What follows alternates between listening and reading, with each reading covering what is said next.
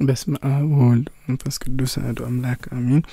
በስመ አብ ወወልድ ወመንፈስ ቅዱስ አሐዱ አምላክ አሜን።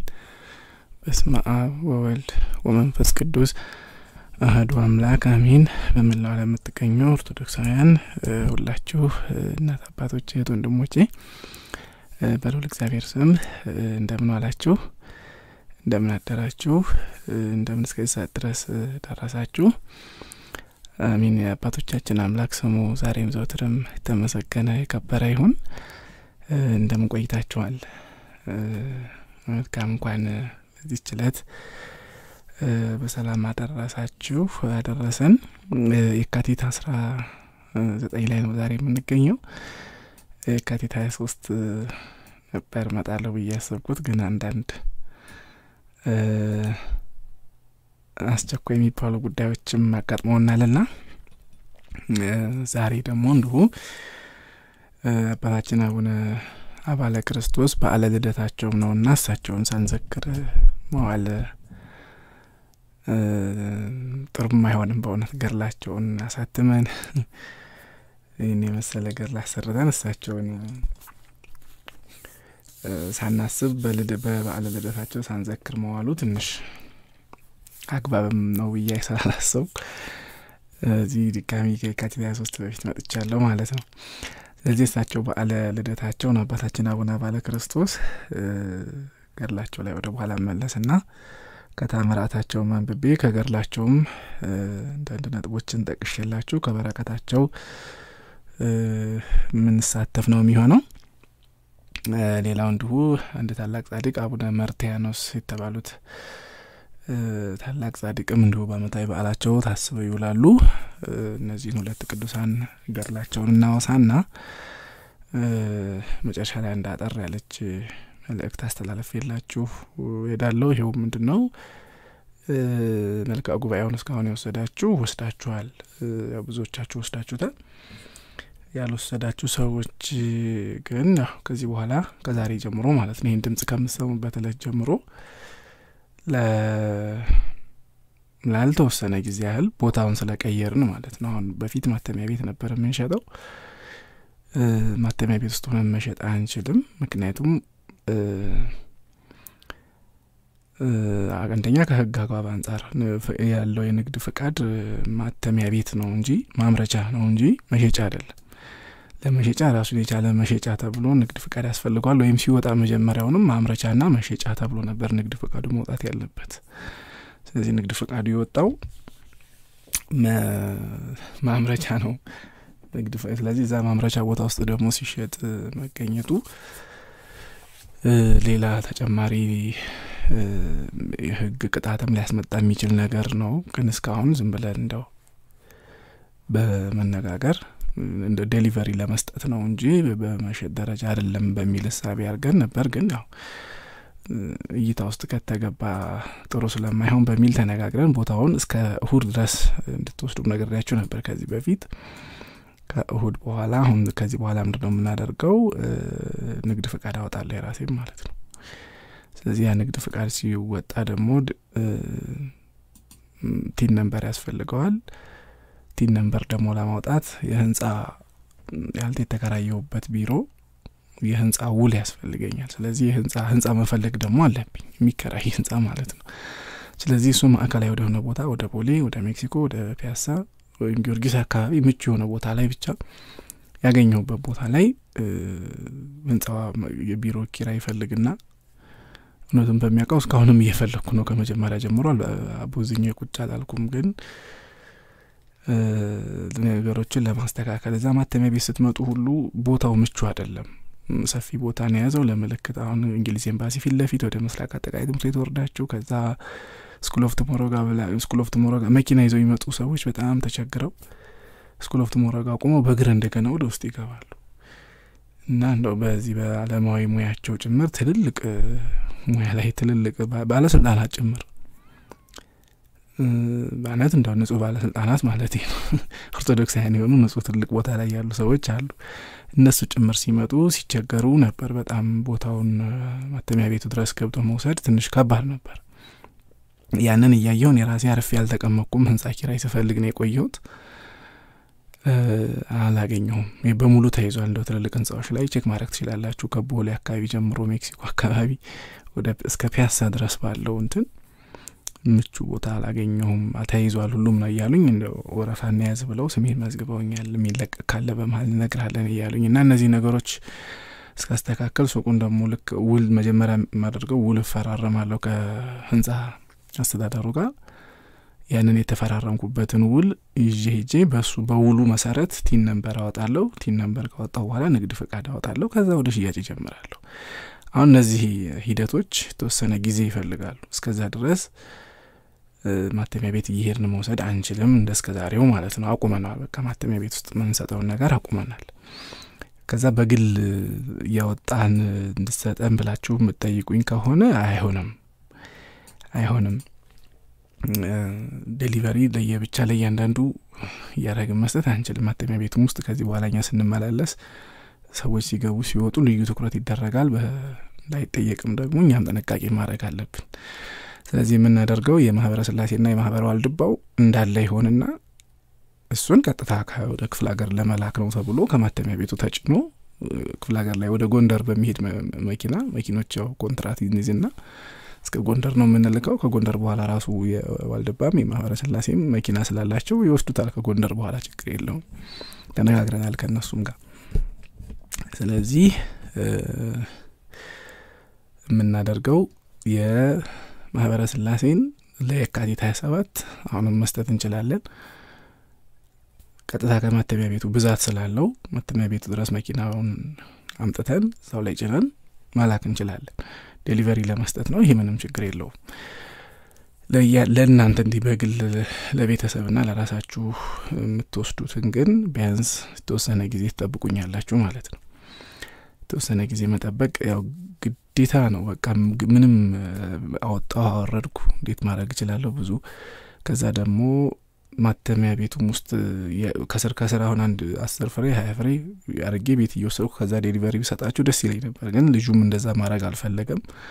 ስራውን ሰርቼ በሶስት ሳምንት ውስጥ አስረክባለሁ፣ አንተ እስከዛ ህንጻውን ፈልግ፣ እኔ ሙሉን ቀሪን ሁለት ሺ ሶስት መቶ ምናምን ነው የቀረውን በሙሉ ጥንቅቅ አድርጌ ሰርቼ ከሶስት ሳምንት በኋላ አስረክባለሁ፣ እስከዛ ህንጻውን ፈልግ ነው ያለኝ። ስለዚህ በመሀል ግን የገዳማቱን ስራ መሀል ላይ ያው እናንተ በምትሰጡት መሰረት ሀምሳ ከሰጣችሁ ሀምሳውን ለማህበረ ስላሴ ያወጣለሁ፣ መቶ ከሰጣችሁ መቶውን አወጣለሁ። ለዋልድባም እንደዛው አስርም ሀያም ከሰጣችሁ ሀያ ለማህበረ ስላሴ ትሰጠኛለህ ብያለሁ። በዚህ ተነጋግረናል። personal ግን ለእያንዳንዱ ግለሰብ ግን እያንዳንዱ እየወጣ የሚሰጥበት ሁኔታ አስቸጋሪ ስለሚሆን ግዴታ ያው ሶስት ሳምንት ትጠብቁናላችሁ ማለት ነው። ከሶስት ሳምንት በኋላ ነው ከዚህ በኋላ ልሰጣችሁ የምችለው። ስለዚህ የራሱ አሁን ህንጻ ውል ህንጻውን አግኝቼ ህንጻ ውል ተፈራርሜ TIN number አውጥቼ ንግድ ፍቃድ አውጥቼ የራሴ ቢሮና store አድርጌ በዛው እንደ ቢሮም እንደ ሱቅም እንደ store ም የምጠቀምበት ክፍል ነው የምፈልገው። ስለዚህ እነዚህን ነገሮች አሳክቼ እስክመጣ እሱም ሙሉውን ህትመቱን እስኪ ያስረክበኝ ሁለት ሺ ሶስት መቶ ምናምኑን ቀሪውን ማለት ነው። እንደውም ሰባት መቶ የሚሞላ ፍሬ እስካሁን አልወሰድኩም ገና ሁለት ሺ ከሁለት ሺ ሶስት መቶ በላይ ፍሬ አለ ገና ምንም አልተነካም። ስለዚህ አለቀ ብላችሁ እንዳትሰጉ አለ። እነዚህን የሱቁን ኪራይ TIN number ና ንግድ ፍቃድ የማውጣቱን ሂደት እንዲሁም ሱቅ የመፈለጉን ጉዳይ አጠናቅቄ እሱም እስከዛ ሙሉ ስራውን ሰርቶ እስኪያስረክበኝ ድረስ በትንሹ ሶስት ሳምንት ያስፈልጋል። አብይ ጾሙ ምናልባት ይገባብናል። ላው ይገባል። እንግዲህ ዛሬ ሰኞ ነው። almost ይህን ባለፈው እሁድ ጀምሮ እስከ እሁድ ድረስ ውሰዱ ብያችሁ እንደነበር ታስታውሳላችሁ። ስለዚህ እሁድን ይዘን ሶስት ሳምንት እንቆጥራለን። ያለፈውን እሁድ ይዘን ማለት ነው። ወይም ሰኞን ይዘን እንቁጠር፣ ችግር የለውም። ይህን ሳምንት ይህ ሳምንት አንድ ሳምንት ከዛ ቀጥሎ አንድ ሳምንት ከዛ ቀጥሎ ሶስተኛ ሳምንት መጨረሻ ድረስ እንደምንጨርስ ነው። እሱም ጨርሶ እንደሚያስረክበኝ የተነጋገር ነው። ከዛ በኋላ እኔም ያለሁትን ነገሮች የንግድ ፍቃዱን አውጥቶ በራሴ ቦታ በራሴ ምቹ በሆነ ቦታ አዘጋጅቼ ኑ ውሰዱ ብዬ ስላችሁ ያኔ ትወስዳላችሁ። ስለዚህ ሶስት ሳምንት አብይ ጾሙ ቢገባም ቢያንስ ከአንድ ሳምንት ወይ ከአብይ ጾሙ ሁለት ሳምንት በኋላ ይደርስልናል። ከዛ ወዲህ ያለውን እንግዲህ ውሰዱ ባልኳችሁ መሰረት ከየካቲት ዘጠኝ ጀምሮ እስካሁን እስከ ትናንትና እሁድ ጠዋት ድረስ እንሰጣችሁ ነበረ። እስከ እሁድ ጠዋት እየሰጠን ነበር። ከየካቲት ዘጠኝ ጀምሮ የአሁን እሁድ ማለት ከአስራ ዛሬ አስራ ዘጠኝ አይደል አስራ ስምንት እስከ አስራ ሰባት ከዘጠኝ እስከ አስራ ሰባት በሙሉ ለመጣው ሰው ሰጥተናል። ስለዚህ ለቆያችሁ ደግሞ ከዚህ በኋላ ሶስት ሳምንት ትታገሱናላችሁ። አይ ሶስት ሳምንት መታገስ አንችልም ቀድመን ከፍለን የለም ወይ ካላችሁ ደግሞ ብሩን ተመላሽ ለማድረግ ዝግጁ ነኝ። ሶስት ሳምንቷን አልጠብቅም ካላችሁ ማለት ነው።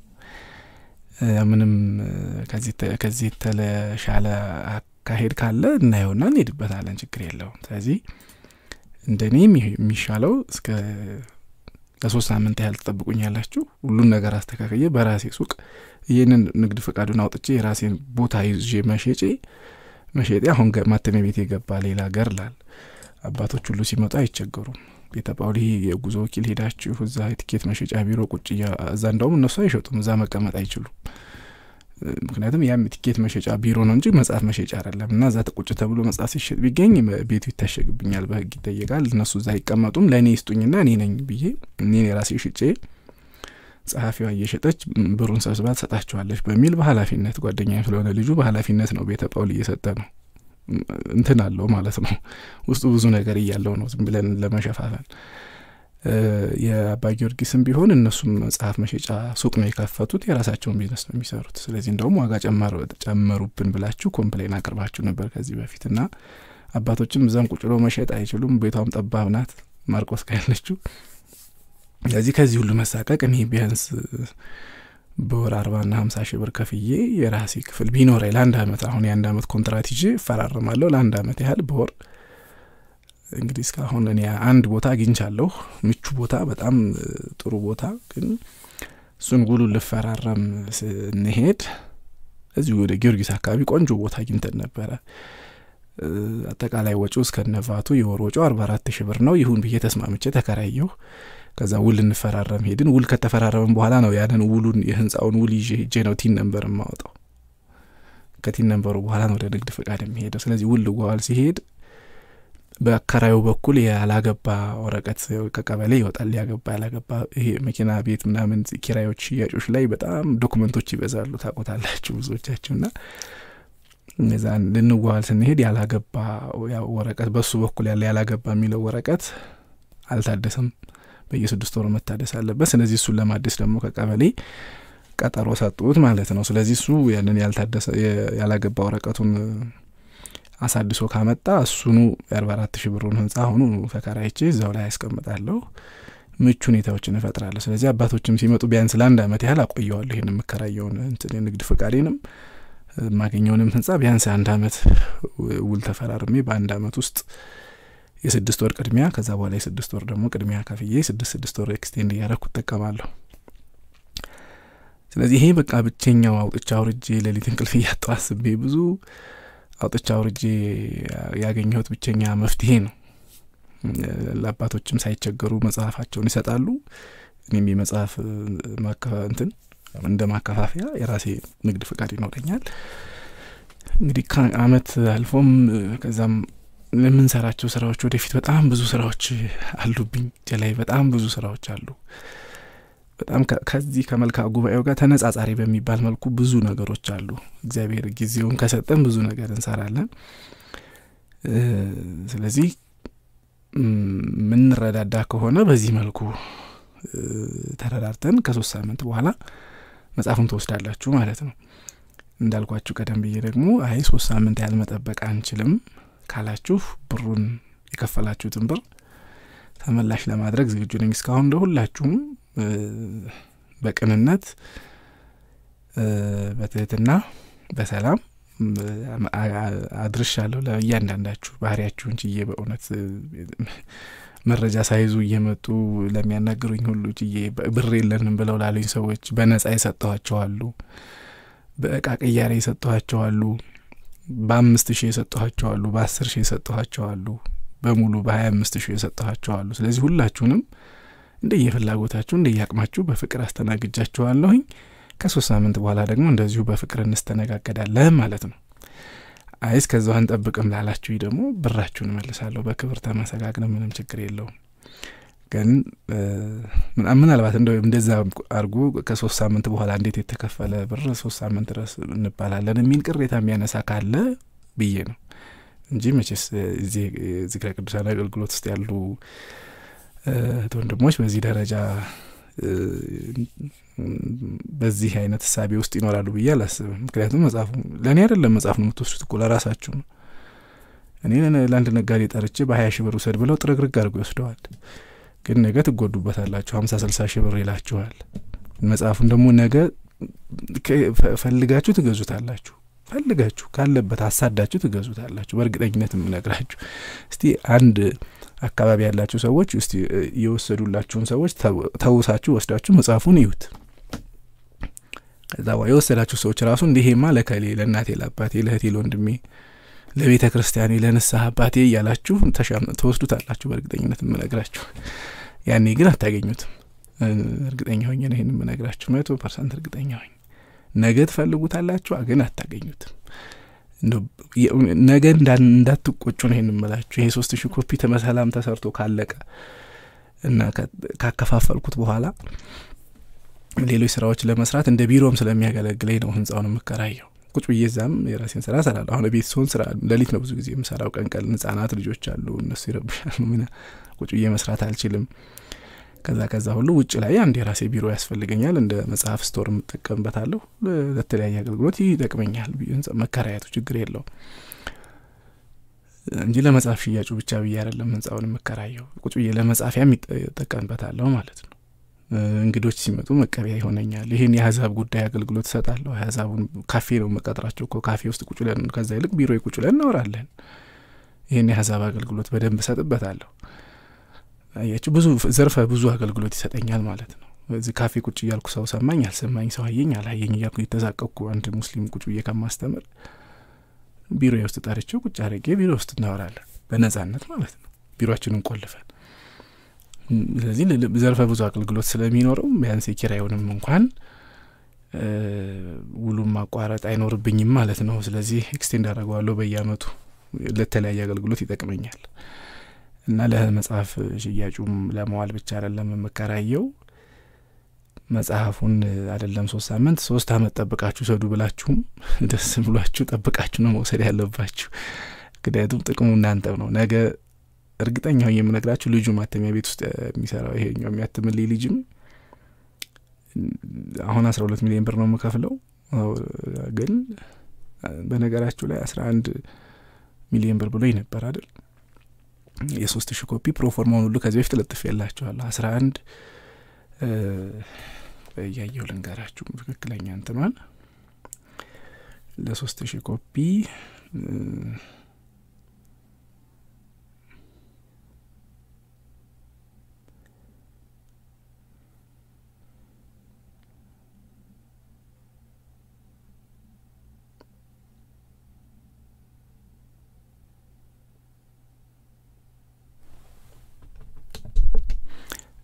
ለሶስት ሺህ copy በ unit price ኡ ሶስት ሺ ሰባት መቶ አስራ ሶስት ብር ነው። አጠቃላይ ለሶስት ሺህ ኮፒ አስራ አንድ ሚሊዮን መቶ ሰላሳ ዘጠኝ ሺህ ነው። ከዚህ በፊት ቴሌግራም ላይ ሁሉ ለቅቄዋለሁ ነው ዩቲዩብ ላይ አስገብቼው ለቅቄዋለሁ። ለሁለት ሺህ ኮፒ ከሆነ በአራት ሺህ አስር ብር ስምንት ሺ ስምንት ሚሊዮን ስምንት ሚሊዮን ሀያ ሺህ ብር ነው የተነጋገርነው። ግን የሶስት ሺህ ኮፒ በሚለው ተነጋግረን በሶስት ሺህ ኮፒ ይሄደናል። ከውሉ ውጭ ባለፈው ሲነግረኝ ተጨማሪ ወጪዎች እንደዚህ እንደዚህ አውጥቻለሁ፣ እንደዚህ አድርጊያለሁ፣ እንደዚህ ሆኛለሁ፣ ስለዚህ ተጨማሪ ስምንት መቶ ምናምን ሺህ ብር ወጪ አለብኝ፣ እሱን ከቨር ታደርጋለህ ሲለኝ እሺ ያው በጸባይ ተጀምረን ስስ ይደረጋል። ስለዚህ ይሄ አስራ አንድ አስራ አንድ ሚሊየን መቶ ሰላሳ ዘጠኝ ሺህ የነበረውን እዚህ ላይ ተጨማሪ አድርጌ ከአስራ አንድ ሚሊዮን መቶ ሰላሳ ዘጠኝ ሺህ ወደ ከአስራ አንድ ሚሊዮን መቶ ሰላሳ ዘጠኝ ሺህ ወደ አስራ ሁለት ሚሊዮን ክፍያው ከፍ ብሎ ተጨምሮ መጨረሻ ላይ እንደውም ሰብስቦ አትሞ ሲያከፋፍሎ ሲሰጠኝ ሌላ ክፍያ ሊጠይቀኝ እንደሚችልም ከልጁ ከሁኔታው እየተረዳሁ ነው ያለሁት እና ያው በዚህ በህትመቱ በኩል ራሱን የቻለ ብዙ ፈተና አለ። ይህ ችግር የለውም። በገንዘብ በኩል የሚመጣውን ፈተና እሱን ቀስ ብዬ ከእግዚአብሔር ጋር እየሸፈንኩም እወጣዋለሁ። ምክንያቱም ይህን ያህል ዋጋ ሲሸጥ ይህን ያህል ሊያገኝ ይችላል ብሎ ቀድሞ እያሰበ ነው አሁን ዋጋ ጭማሪ ካላረክ እያለኝ ያለሁ።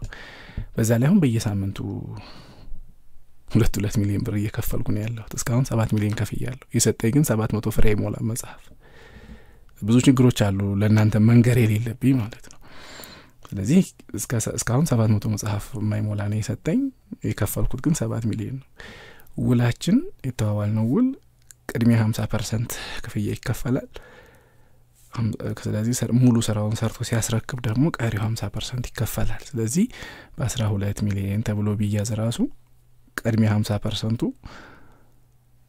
ቅድሚያ ሀምሳ percent ኡ ስድስት ሚሊዮን ነው የሚሆነው። ስለዚህ ከግማሽ በላይ ክፍያ ከፍያለሁ ሰባት ሚሊዮን እና አሁን ባለፈው ሙሉ ክፍያውን ቀድሜ እንዲከፍል ነው የፈለገው ልጁ አስራ ሁለት ሚሊዮን አሁን እንዲሰጠው ይፈልጋል። መክፈል እችላለሁ ሰብ እንትን ብያለሁ እኮ ሸጬዋለሁ። እናንተም ከፍላችኋል። መክፈል እንኳን ብችል ስራውን ሰርቶ ሳያስረክበኝ እንዴት ሙሉ ክፍያ ቀድሜ ይሰጣለሁ? አግባብ አይደለም። ስለዚህ ቅድሚያ ክፍያውን ከግማሽ በላይ ከፍያለሁ። ከዚህ በኋላ ስራውን ካስረከብከኝ በኋላ ቀሪውን ክፍያ እከፍልሃለሁ ብዬ ተነጋግረን በሶስት ሳምንት ውስጥ ሰርቶ እንደሚሰጠኝ ተነጋግረናል። እና እንዳልኳችሁ እዛ ግሸን ላይ እንግዲህ ያሉት አባት ይህን ስራ ስትሰራ ሄደህ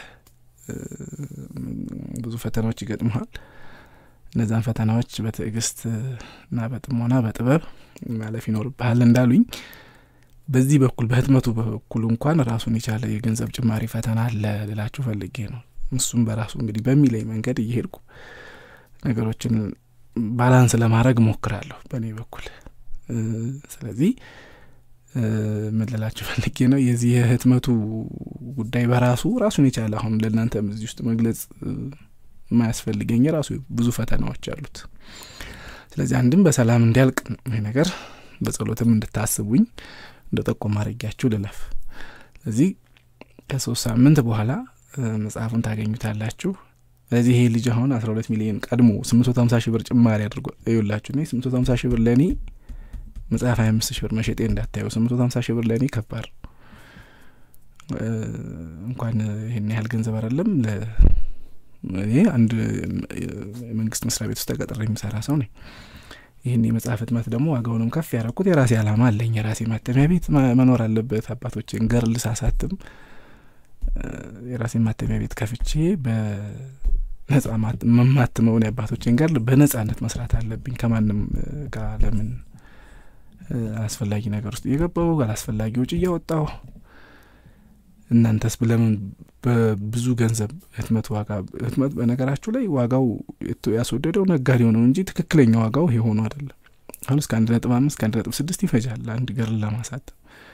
እነሱ በሰባትና በስምንት ምናምን የሚጨርሱትን ነው ያው ትርፋቸውን እጥፍ እያደረጉ የሚያሰሩን ሁሉም ማተሚያ ቤት ማለት ይቻላል። እና እንዲህ አይነቱን የገንዘብ ብዝበዛም ለማቆም በቃ የራሴ ማተሚያ ቤት ያስፈርቻ ያለው ስራ ያለፍች ደክሜ ያለው በደክሜ በሰራው ስራ ዋጋ ከፍ አድርጌ ሽጬ ማተሚያ ቤቴን ከፍታለሁ ብዬ ነው ያሰብኩት። ደግሞ አሳካዋለሁ ከእግዚአብሔር ጋር።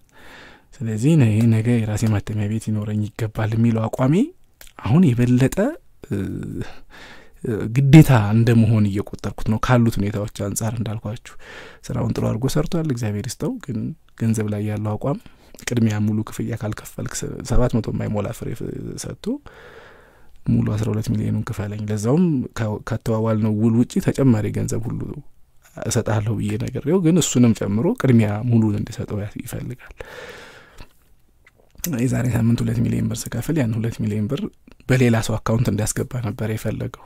እወቁት፣ በዚሁ ግልጽ ምንም እንትን የሚባልም የሚሸፈናለም አይሸፈናል። በሁለት ሚሊዮን የዛሬ ሳምንት ሰኞ ስከፍለው የሌላ ሰው account ሰጠኝ። እዳ ስላለብኝ ለዚህ ሰው አስገባልኝ አለኝ። እግዚአብሔር እንግዲህ ሲጠብቀኝ አመለከተኝ ራሱ እግዚአብሔርና እንዲህ በሌላ ሰው account ለምን እልካለሁ? ጥንቃቄ ማድረግ አለብኝ አልኩና ያችን ሁለት ሚሊዮን ብር ለሌላ በሌላ ሰው account ማስገባት አልችልም። የራስን account ላክልኝ፣ በራስህ account ነው የማስገባልህ ብዬ አልኩት። በራሱ account አስገባው እና አሁን አንዳንድ ነገሮችን ትንስል መጨረሻ ላይ ስራውን አሁን ገና ሙሉ መጽሐፉን አሳትሞ ሳያስረክበኝ ሙሉ ክፍያ ከጠየቀኝ ስለዚህ ስራውን ሳይሰጥ ሰርቶ ሳያስረክብ ሙሉ ክፍያውን ከጨረሰ መጨረሻ ላይ መጽሐፉን አምጣ ስለው ተጨማሪ ሌሎች ክፍያዎች ሊያመጣ ነው ማለት ነው። ብዙ መዘዝ ሊኖረው ይችል ነበረ እና እግዚአብሔርም አመልክቶኝ ከመሳሳትም ተረፍ ያለው ብዙ ነገሮች አሉት ልላችሁ ፈልጌ ነው። የአባት ፈተና አለብህ ያሉኝ ይቺ ጥቃቅን ነገር እንግዲህ ለእኔ በገንዘቡ ጉዳይ ላይ ቢሆንም ራሱን የቻለ ፈተና አለው። ስለዚህ ይህን እየነገርኳቸው ያለሁት ነገ የራሴ ማተሚያ ቤት ያስፈልገኛል ግዴታ ለምሰራው ስራ እዚህ ቅዱሳን ገር ላይ ለምሰራው ስራ ብዬ እምለችሁ ነገር ምን ያህል የግዴታ እንደሆነ ይሄ ነገር እንድትረዱትና መጽሐፉንም ስትወስዱ ነገ የአባቶቻችንን ገር ለማሳተም የምንጠቀምበት ለዛ የራሳችሁንም ማስተዋጽኦም እያደረጋችሁ እንደሆነ እንድታውቁት ነው። መጽሐፉን በዚሁ ለሀገር ውስጥ ምእመንም ለውጩም በነጻ የሰጠሁት አለ። እስካሁን በነገራችሁ ላይ መጥተው እኔ መጽሐፉን በጣም ፈልገዋለሁ ይህ መጽሐፍ ሳልወስድ እኔ ስንት ዓመት ሙሉ ጠብቄ እኔ አሁን ገንዘብ እጄ ላይ የለም ላሉኝ በነጻ የሰጧቸው እህት ወንድሞች አሉ። ኑና ውሰዱ ብያቸውም ሳይመች ቀርቶ እስከ እሁድ ድረስ ሳይመጡ ቀርተው ያልሰጠኋቸው አሉ። እስከ ሶስት መቶ ሺህ ብር ከፍሎ የወሰደም አለ ደግሞ የዛ ነው ያህል። ስለዚህ እኔ በቻላችሁት ዋጋ ውሰዱት። የለኝም ላለኝ ነገም በነጻም እሰጣለሁ። ይሄ አምስት ሺህ ይዞ መጥቶ ይሄን ያለኝ ካላይ በአምስት ሺህ እሰጠዋለሁ። አልመልሰውም። ግዴላችሁም። መንፈሳዊ አገልግሎትን በየዋህነት በፍቅር በቅንነት እናድርገው። ሌላውን እግዚአብሔር ይሞላዋል። ግድ የለም አገልግሎት ሲባል በዚህ ነው።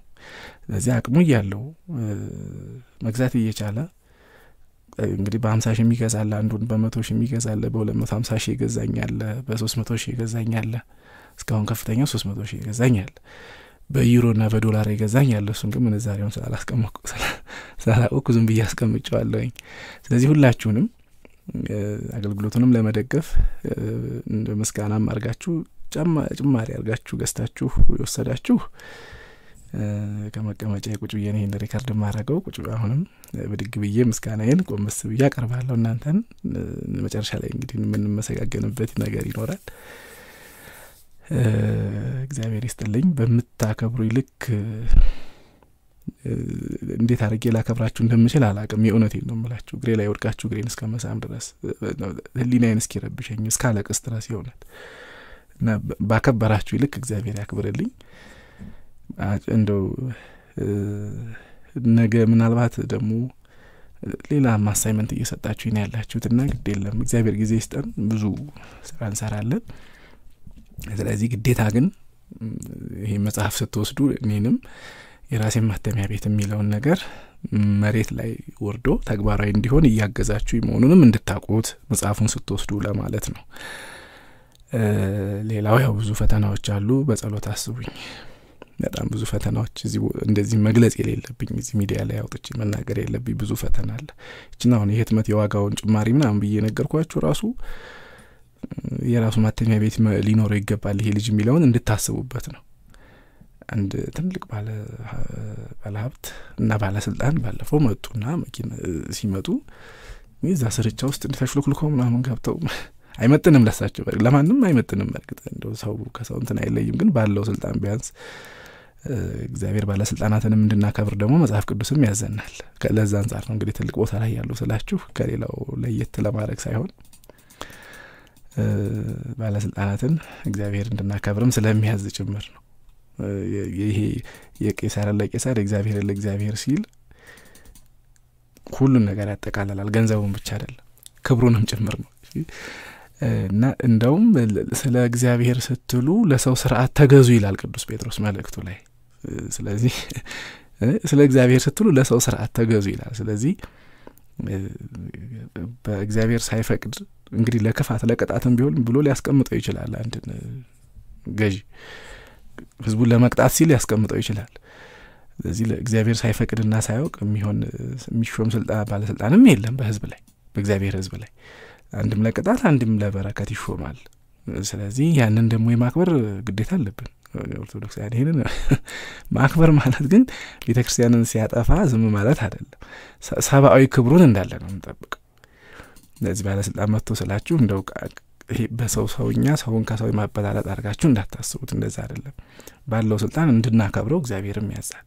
በሚሰራው እኩይ ስራ ደግሞ እንነቅፈዋለን፣ እንተቸዋለን፣ እንዋገዋለንም በሚሰራው ክፉ ስራ እግዚአብሔር በሰጠው ስልጣን ግን እናከብረዋለን። እና ይሄ ባለስልጣንም ባለሀብትም የሆነ ሰው መጥቶ አራት መጽሐፍ ነበር የወሰደው። አራት መጽሐፍ ማለት ወደ መቶ ሺህ ብር አካባቢ ነው። ስለዚህ ሸኝቼ ስመለስ መኪናቸውን ያቆሙበት ቦታ ራሱ ምቹ አልነበረም።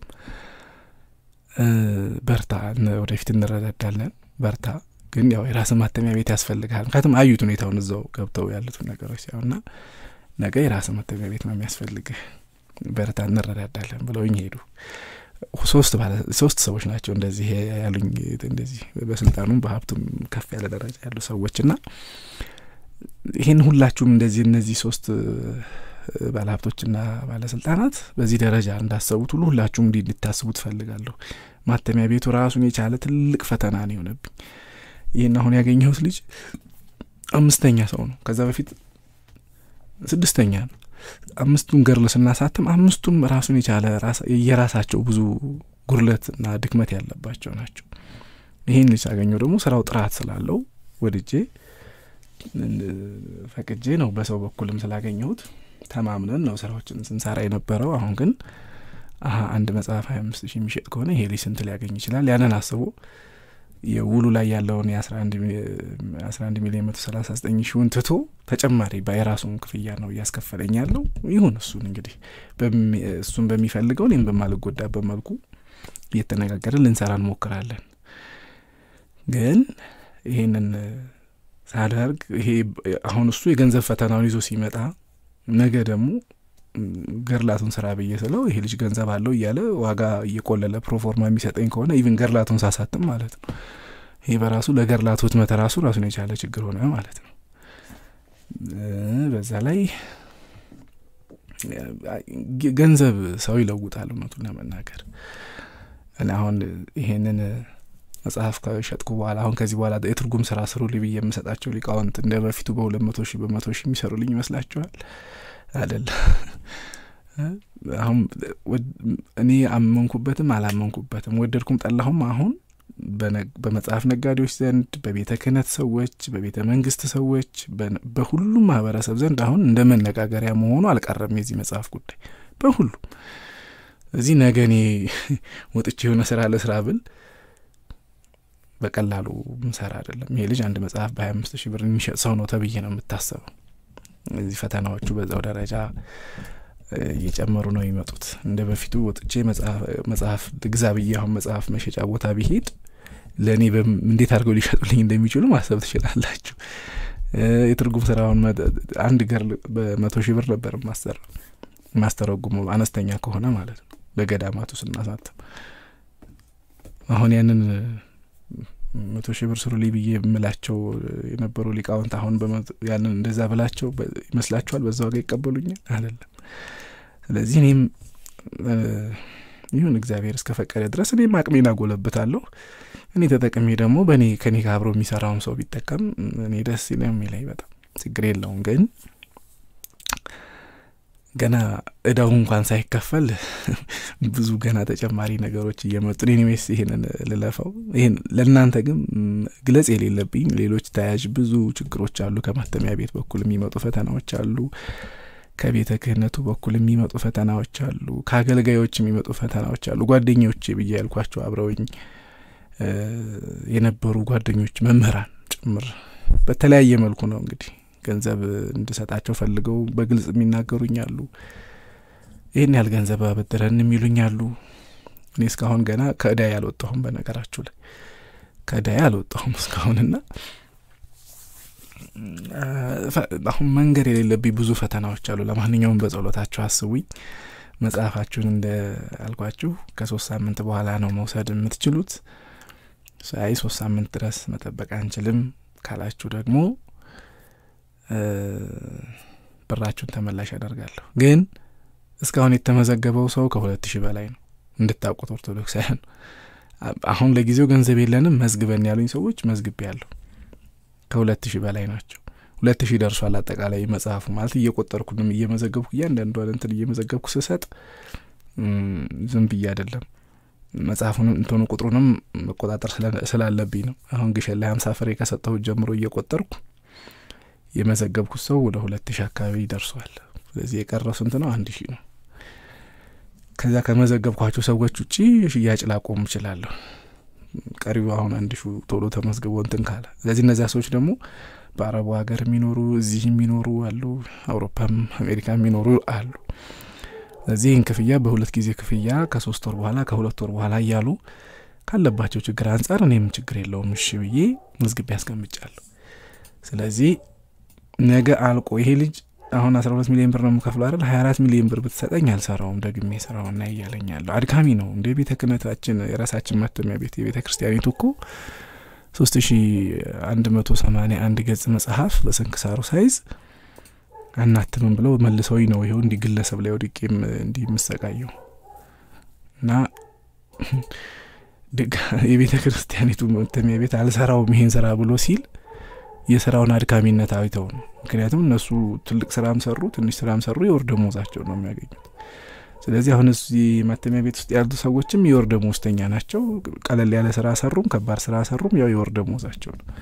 ሰዓት እየጨመሩ ሌሊት እየገቡ የሚሰሩ ከሆነ overtime ሊታሰብላቸው ይችላል። ስራው ግን ያ ነው እና ሰራተኛውም እሺ ስለማይለኝ አድካሚነቱም በጣም ከባድ ስለሆነ ይህን ስራ ደግሜ አልሰራውም ብሎኛለች። ስለዚህ ለገዳማት የምትልኩትን ለገዳማት ላኩ፣ ለራሳችሁ ለቤተሰብ ለራሳችሁ የምትወስዱትን ለራሳችሁ ውሰዱ። እኔ ተደጋግሜ ተናግሬ ያለሁ ከዚህ በኋላ እንደውም መልእክቱን በቃ ሶስት ሳምንት በኋላ ሽያጭ እስከምጀምር ከዚህ በኋላ ላላስተላልፍ ሁሉ እችላለሁ። መልእክት በዚህ ጉዳይ ላይ የመጨረሻ መልእክቴ ነው የሚሆነው። ውሰዱት። ነገ በጣም ተቆጭታችሁ ትፈልጉታላችሁ፣ ግን አታገኙትም። በእርግጠኝነት የምነግራችሁ ከአሁኑ ውሰዱ። ለገዳማት የምትልኩ የገዳማቱን አሁን የማህበረ ስላሴውን አንድ ላይ ሰብስበን ሀያም ተገኘ ሰላሳ አርባም ሀምሳ መቶም ከተገኘ መቶውን ከማተሚያ አውጥተን ጎንደር በሚሄድ የኮንትራት መኪና ጭነን እንልከዋለን። ባህታውያኑ ይጠቀሙበት፣ እናንተም ለጸሎት ተጠቀሙበት። ስለዚህ ያው መልእክቱን በዚሁ ልጨርሰው። መውሰድ ያለባችሁ ግዴታ በነፍሳቸው እንዲጠቀሙ የምትፈልጓቸው ሰዎች ነግራችሁ ይውሰዱ። ነገ እኔ ደጋግሜ ነው እየነገርኳቸው ከዚህ በኋላ ይሄ ዛሬ እንደው የመጨረሻ መልእክቴ ነው። ይኸው ከዚህ በኋላ ውሰዱ፣ ይጠቅማችኋል። ለነፍስ ለስጋ እስከ ለተምጻት ላይ ይመጣ ትውልድ የሚጠቅም ነገር ነው። ቅርስ ነው። ወስዳችሁ ቤታችሁ አስቀምጡ። ወስዳችሁ ለቤተሰብ ስጡ። ወስዳችሁ በነፍሳቸውም በስጋቸውም እንዲጠቀሙ ለምትፈልጓቸው ዘመዶችም ጭምር ስጡ። ንገሯቸው፣ ይውሰዱ፣ ይመዝገቡ። ከሶስት ሳምንት ማለት ነገ ነች፣ ችግር የለውም። ግን ከዚህ በኋላ ውሰዱ ብዬ ማስታወቂያ አልናገርም። ሁለት ሺሁ ተመዝግቧል፣ የቀረው አንድ ሺ ነው። ስለዚህ ተመዝገቡና ውሰዱት። ጥንቅቅ አድርገን በአጭር ጊዜ ጨርሰን ወደ ሌላ ስራ ወደ አባቶቻችን ገርል አሁን አንድ ለህትመት እያዘጋጀሁት ያለ ሁለት ገድል አለ። እሱም በዚህ ሶስት ሳምንት ልጨርሱ። እሺ እንደውም እኔ ስራ የምፈታ እንዳይመስላችሁ በዚህ ሶስት ሳምንት እነዚህን የሁለት ቅዱሳን ገድል የተለያዩ ገዳማት ማለት ነው። አንደኛው ላይ ለምሳሌ ሶስት ገድል ነው። አሁንም ልክ እንደ አባለ ክርስቶስ አሁን የአባለ ክርስቶስን ስናሳትም የነብየ ጊዜን የሰይፈ ሚካኤልና የአባለ ክርስቶስን አንድ ላይ የሶስቱን አንድ ላይ ያሳተምነው በሰባት መቶ ገጽ አድርገን በትልቁ ወይም የነገላውዲዮስ የቀዩ መጽሐፍ በዛ መጠን የሶስት ቅዱሳን ገድል ሆኖ የአንድ ገዳም ንብረት ሆኖ እሱ አሁን እየተዘጋጀ ነው። ስለዚህ አርትኦቱን ቶሎ መስራት አለብኝ ሌሊትም ቀንም ብዬ ሌላ ገድልም እንደዚሁ መጥቶ ተዘጋጅቶ እሱም እየጠበቀ ነው። ስለዚህ እነዚህን ሁለት ገድላት በአስቸኳይ በዚች አስራ አምስት ቀን ውስጥ ጊዜውን ወስጄ አሁን መጽሐፍ ላከፋፈል የተጻፉትን ኢሜይሎች ልመልስ፣ ቴሌግራም ይህም አንዴ ሲከፍተው መቶ ምናምን የማገኘው message መልስን መስጠቱ ራሱን የቻለ ስራ ነበር የሆነው። ይህን ገድል አርትዖት የምሰራውንም አቁሜ ነበረ ጊዜውም ስላልበቃኝ። ስለዚህ አንድም እንግዲህ እግዚአብሔርም ፈቅዶ ሊሆን ይችላል ገድሉን ቁጭ አርገህ ይሄን እንትን የምትለው ብሎ የሶስት ሳምንት እንትን ያለብኝና አላለቀም አለ አንድ ሺህ ያለ ያልተመዘገበ እችን አንድ ሺህ ግን ነገ እንዳትጸጸቱበትና ራሳችሁ እንትን እንዳትሉ እኔንም እንዳታማረሩኝ ነገ ውሰዱ። በዚች ሶስት ሳምንት ከሶስት ሳምንት በኋላ ባለው ደግሞ እዚህ ቦታ ላይ እንግዲህ የራሴን ንግድ ፍቃድ አውጥቼ process ኡ ብዙ ነው። በነገራችን ላይ ንግድ ፍቃድ ዝም ብሎ አይወጣም፣ ዝም ብሎም አይመለስም። process ኡ ብዙ ነው። አሁን እኔ ራሱ የቀበሌ መታወቂያ ማሳደስ አለብኝ። የቀበሌ መታወቂያ ለማሳደስ ደግሞ ሰባት ወር ስምንት ወር ይቀጥራሉ። ብር ተከፍሎ በአስቸኳይ የተወሰነ ጊዜ ቀንስ ወር ይሆናል ምናምን ግን እንደው በሰው በሰውም በገንዘብ ኃይልም ቶሎ በአስቸኳይ ለማውጣት እሞክራለሁ። ንግድ ፍቃዱ ከማውጣቴ በፊት መታወቂያ መታደስ አለበት። እኔ ደግሞ አሁን መስከረም ሰላሳ ሁለት ሺ አስራ አራት አልፏል መታወቂያ እና ዝም ብሎ ንግድ ፍቃድ አይወጣም። በጣም ብዙ ነው ፕሮሰሱ። እነዛ ነገሮች ጨርሼ ንግድ ፍቃዱን ለመመለስም ደግሞ ከዛ የባሰ ብዙ process አለ። እንደውም አታውጣ ካወጣ በኋላ ለመመለስ ብዙ ያስቸግረሃል። መመለሱ ከባድ ነው ከማውጣቱ ይልቅ ብለው ሀሳብ የሰጡኝ እህት ወንድሞች፣ እናት አባቶችም አሉ ሁላ። ግን ቢያንስ በምንም አይነት መልኩ ሌላ መንገድ አልታየኝም። የመጽሐፉን ማስቀመጫ store ም ያስፈልጋል። ለጊዜው ከህትመት የምቀበለውን ሁለት ሺ ሶስት መቶ እንትን የት አስቀምጠዋለሁ? ቤቴ እንደሆነች አችለውም። ራሱን የቻለ አንድ መጋዘን ያስፈልገዋል እስክትወስዱ ከዛ ማለት ነው። እና አጭሩ መጽሐፉን ነገ አታችሁት እንደ ከመቆጨት እኔንም ከመውቀስ እንድትተርፉ መጽሐፉን ተመዝገቡ፣ ውሰዱ። መክፈል የምችሉ እየከፈላችሁ ከሶስት ሳምንት በኋላ ውሰዱ። የሆነ ሰዓት ላይ አልቋል ልላችሁ ይችላለሁ። ይቻ እንዲሿም አሁን ለምሳሌ ለማህበረ ስላሴ አስራ አምስት ፍሬ ይፈልጋለሁ ብሎ እየተመዘገበ እየከፈለ ያለ ሰው አለ። ስለዚህ ለማህበረ ስላሴ አስራ አምስት ማለት አንድ ሰው በዚህ ደረጃ ይወስደዋል ማለት ነው። ለሁሉ የቤተሰብ አባሎቼ ስምንት ናቸው። ስምንት ያስፈልገኛል፣ ስምንት ያዝልኝ ያለኛል። ስለዚህ የሆነ ሰዓት ላይ ድንገት መጥቼ አይ በቃ ምዝገባው ሞልቷል፣ የከፈለው ከፍሏል፣ ያልከፈለው በወርም በሁለት ወርም ይከፍላል። ስለዚህ አልቋል ከዚህ በኋላ ብዬ ብል ምንም ላደርግ አልችልም። ድጋሚ እንኳን ላሰራው ብል በዚህ ደረጃ የትኛውም ማተሚያ ቤት በዚህ ጥራት በዚህ እንትን ቀላል አይደለም። ኢትዮጵያ ውስጥ በዚህ ዘመን አሁን ባለንበት የኑሮ ውድነት አስራ ሁለት ሚሊዮን ብር መስራት እኮ በነገራችሁ ላይ ህትመት ቤት ውስጥ ያሉ አንዳንድ ሰዎች መጥተው አይተውኝ በፊት ማተሚያ ቤት የሚሰሩ የነበሩ አንዳንድ ወንድሞች ሁሉ አይተው ስራውን አይተውት ያው የጥራቱን ጉዳይ በደንብ አመስግነው ግን ቢሆንም ቢሆንም ብለው በሰባት እና በስድስት ሚሊዮን ብር ማለቅ የሚችል ስራ ነው። እስከ አስራ ሁለት ሚሊዮን ብር የሚያስኬድ አልነበረም። ያው ስራ ነው እንደ ስራ ብለው ስለገቡበት ያገኙ እንጂ ቢያንስ ግፋ ቢል በስድስት ሚሊዮን ብር ማለቅ የሚችል ስራ ነው ነው ያሉኝ ባለሙያዎች ማለት ነው። ህትመት ቤት ውስጥ ብዙ አመት የሰሩ ግን አሁን የህትመት ስራውን በሌላ መስክ ቀይረው ሌላ ሙያ ውስጥ ገብተዋል። ህትመቱን ግን በደንብ ያውቁታል። እኛ ማተሚያ ቤቱን ለማሽኖቹን ሁሉንም አዩቸው፣ ስራ አሰራሩንም አዩት። ጥሩ ነው፣ ስራውን በጥራት ሰርቶታል። ግን ሰባት ሚሊዮን ባልሞላ እስከ ስድስት ሚሊዮን ብር ባለው ማለቅ የሚችል ዋጋ ነው ብለው ሀሳብም ሰጥተውኛል። ያው ሁሉንም በግልጽ እያየ ነው እያየ ነው መሄድ ስላለብን ነው። ስለዚህ እሱ ደግሞ አሁን ስራ ነው እየሰራ ያለው አትርፎ የስራ እጥፍ ሚሊዮን ብር ነው ያተረፈው ማለት ነው። ግማሽ ስድስት ሚሊዮን ብር አትርፏል። ቀላል ነገር አይደለም። ብዙ ማተሚያ ቤቶች በዚህ ሰዓት የወረቀት ዋጋ ከመጨመሩ የተነሳ የሚያሰራም ሰውም ስለሌለ ሰራተኛቸውን እየበተኑ ማሽናቸውን እየሸጡ ወደ ሌላ የስራ መስክ ገብተዋል። ከዚህ በፊት አንድ መጽሐፍ ያተመልኝ አንድ የቅርብ ሰው በቤተሰብ በኩል የማውቀው አንድ ጓደኛ ነበረኝ። እሱ አሁን ማተሚያ ቤቱን ሽጦ ማሽኑን ሽጦ ሰራተኞችን በትኖ ዳቦ ቤት ከፍቷል። ህትመቱ ዋጋ ከመጨመሩ የተነሳ የሚያሰራም ሰው ስለሌለ እዚህ ሰራተኛ ደሞዝ አለ። ማሽን ደግሞ የሚተከልበት ቤት ኪራዩ ቀላል አይደለም። የማተሚያ ቤቱ የቤት ኪራይ አለ፣ የሰራተኛ ደሞዝ አለ። ስለዚህ ይህ ሁሉ ተጠቃሎ ወጪው ከፍተኛ ነው። በዛ ላይ ደግሞ ስራው ቀዝቅዞ የሚያሰራ ሰው ከሌለ በየወሩ ወጪ ብቻ ነው የሚሆነው እና ዳቦ ቤት ከፍቻለሁ ማተሚያ ቤቱን ትቼው ብሎ ነው ያለኝ። እና ብዙ ማተሚያ ቤቶች በዚህ ደረጃ ስራ ቀዝቅዞ ያለበት ሁኔታ ላይ አስራ ሁለት ሚሊዮን ብር ቀላል አይደለም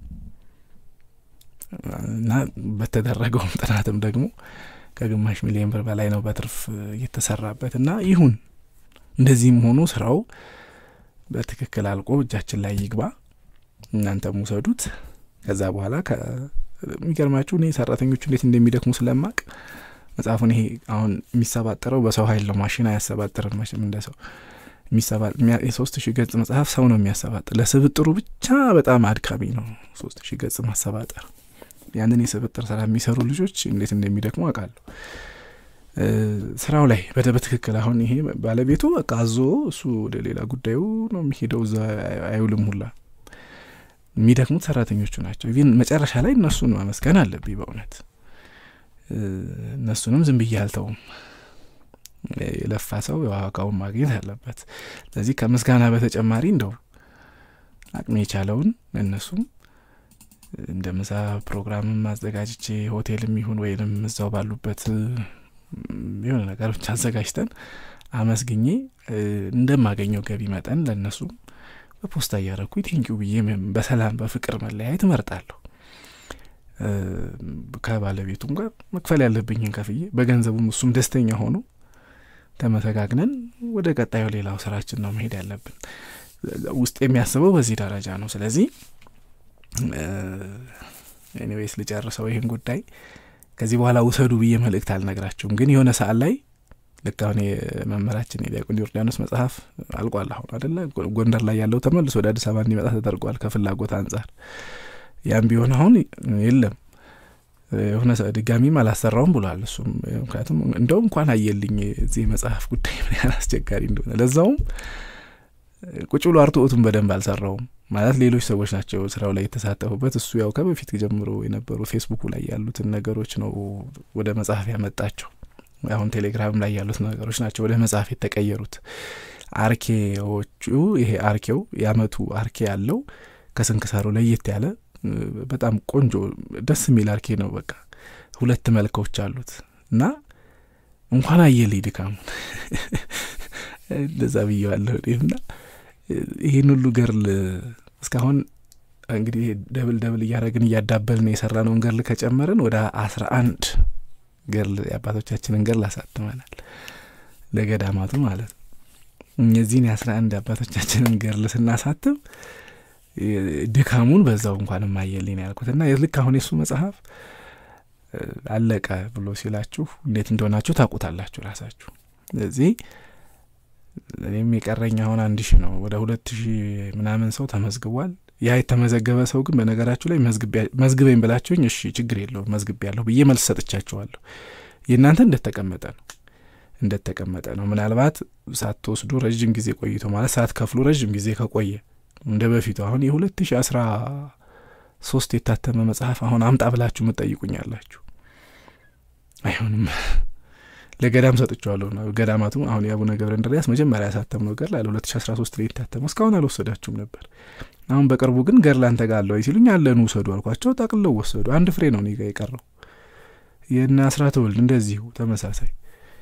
እንዴ እኔ ሶስት አመት አራት አመት እንዴት አንድ ሰው አንድ ቤት መጽሐፍ ያስቀምጣል? እንደ ካላችሁበት የትውልድ አካባቢያችሁ ላይ አዲስ አበባ እስካሁን ሰው ሳይመጣ ቀርቶ ነው ያላስወሰዳችሁት? እና በጣም ነገሮች ላይ ግድ የለሾች ባትሆኑ ስለዚህ አሁንም በዚሁ መጠን ይቀመጥ ብላችሁ አስመዝግባችሁ ክፍያውን በጣም አዘግይታችሁት ረዥም ጊዜ የምታዘገዩ ከሆነ ለሚፈልግ ደጅ የሚጠና ስለሚኖር እሸጠዋለሁ። ግን መዝግበኝ ላላችሁ ሰዎች በሙሉ መዝግብ ያለሁ ሊስታችሁን። አስፈላጊ ከሆነ ኤክሴሉን አውጥቼ የመዘገብኩበትን የሁለት ሺያችሁንም ሊስቱን ላወጣው እችላለሁ። ስለዚህ ለገዳማት ከተሰጠው በተጨማሪ መመዘግባችሁ ሰዎች ቁጥሯን በትክክል ማወቅ ስላለብኝ የሶስት ሺዋ እስክትሞላ ድረስ መዘግባለሁ። ሶስት ሺህ ሲሞላ ግን ድንገት የሆነ ቀን መጥቼ በቃ ሶስት ሺ ተሽጦ ስላለቀ አዝናለሁ ብዬ ልላችሁ እችላለሁ። ከዚህ በኋላ ያልወሰዳችሁ ሰዎች ካሉት እየተዋሳችሁ ታነባላችሁ ማለት ነው ብዬ ካልኩኝ ምንም ላረገዋል ድጋሚ የትም ላሰራው አልችልም ይሄ መጽሐፍ። ከልጁ ጋር ምናልባት ገንዘብ ላይ ባለው አቋም ደስተኛ አይደለሁም እውነቱን ስነግራችሁ። በየሳምንት ሁለት ሁለት ሚሊዮን ብር ያው መጽሐፉን ሽያጭ ነው እንጂ ማለት በጣም አስጨንቆኛል ገንዘብ ላይ እና ቅድሚያ ደግሞ ሙሉ ክፍያ እንድከፍል ተፈልጓል። ስለዚህ መጽሐፉን ሳልረከብ ሙሉ ክፍያ ከፈልኩ ማለት ነገ ሙሉ መጽሐፉን አስረክፈኝ ስል ሌላ ጣጣ ሊመጣ ነው ማለት ነው። ይህን ቀድሞ መገመትም ይቻላል። እና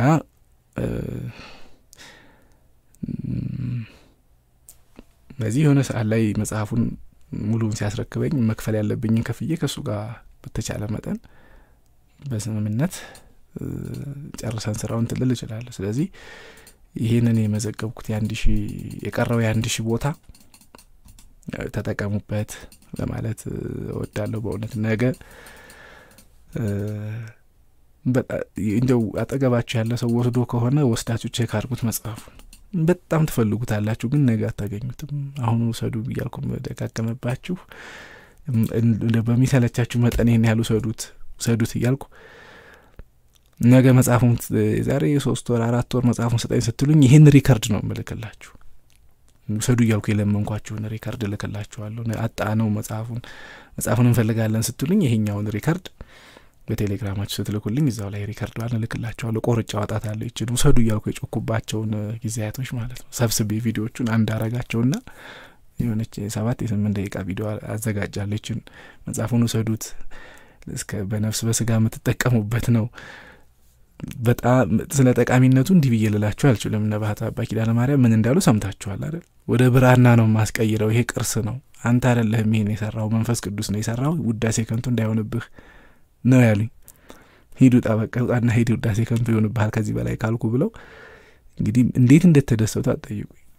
ሰግድ ሰግድ መድኃኔዓለም መልካ መድኃኔዓለምን በአስራ ዘጠኝ ሰማኒያ አንድ ሌባ ወስዶብኝ ከዛ በኋላ አላገኘሁትም ነበረ ሲሉኝ ይሄ እዚህ ላይ ያለ ስላቸው፣ አይ ይሄማ ከሆነ አንተ አይደለህም የሰራው መንፈስ ቅዱስ ነው ያሉኝ።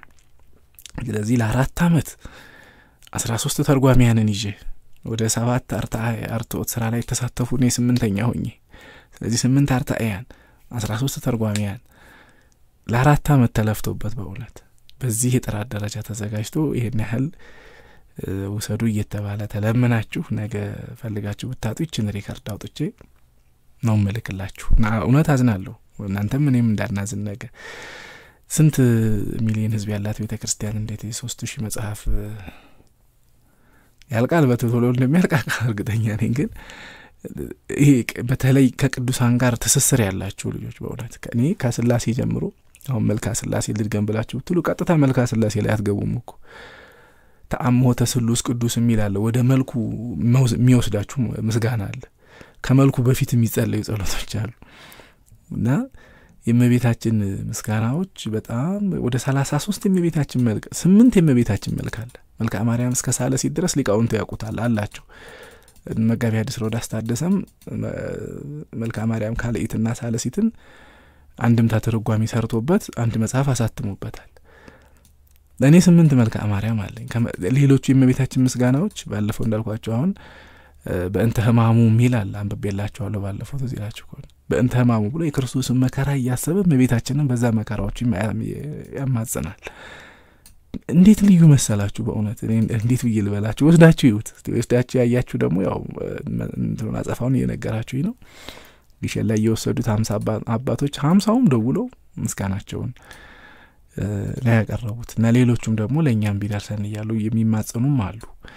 በዚሁ አጋጣሚ ለገዳማቱ መስጠት የምትችሉ አቅሙ ያላችሁት ወንድሞች የሚጠይቁ የሚለምኑ ገዳማ እየደወሉ ከዚህ ገዳም ነው እያሉ የሚጠይቁኝ ለገዳሙ አንድ ፍሬ ብትልክልን እያሉ የሚጠይቁኝ ብዙ ናቸው ከማህበረ ስላሴው በተጨማሪ እና ስለዚህ መዝሙረ ዳዊቱ ልዩ ነው ከመዝሙረ ክርስቶስና መዝሙረ ድንግል ጋር እስካሁን በትርጉም በግዕዝና በአማርኛ የተዘጋጀ መዝሙረ ዳዊት የለም በዚህ ደረጃ።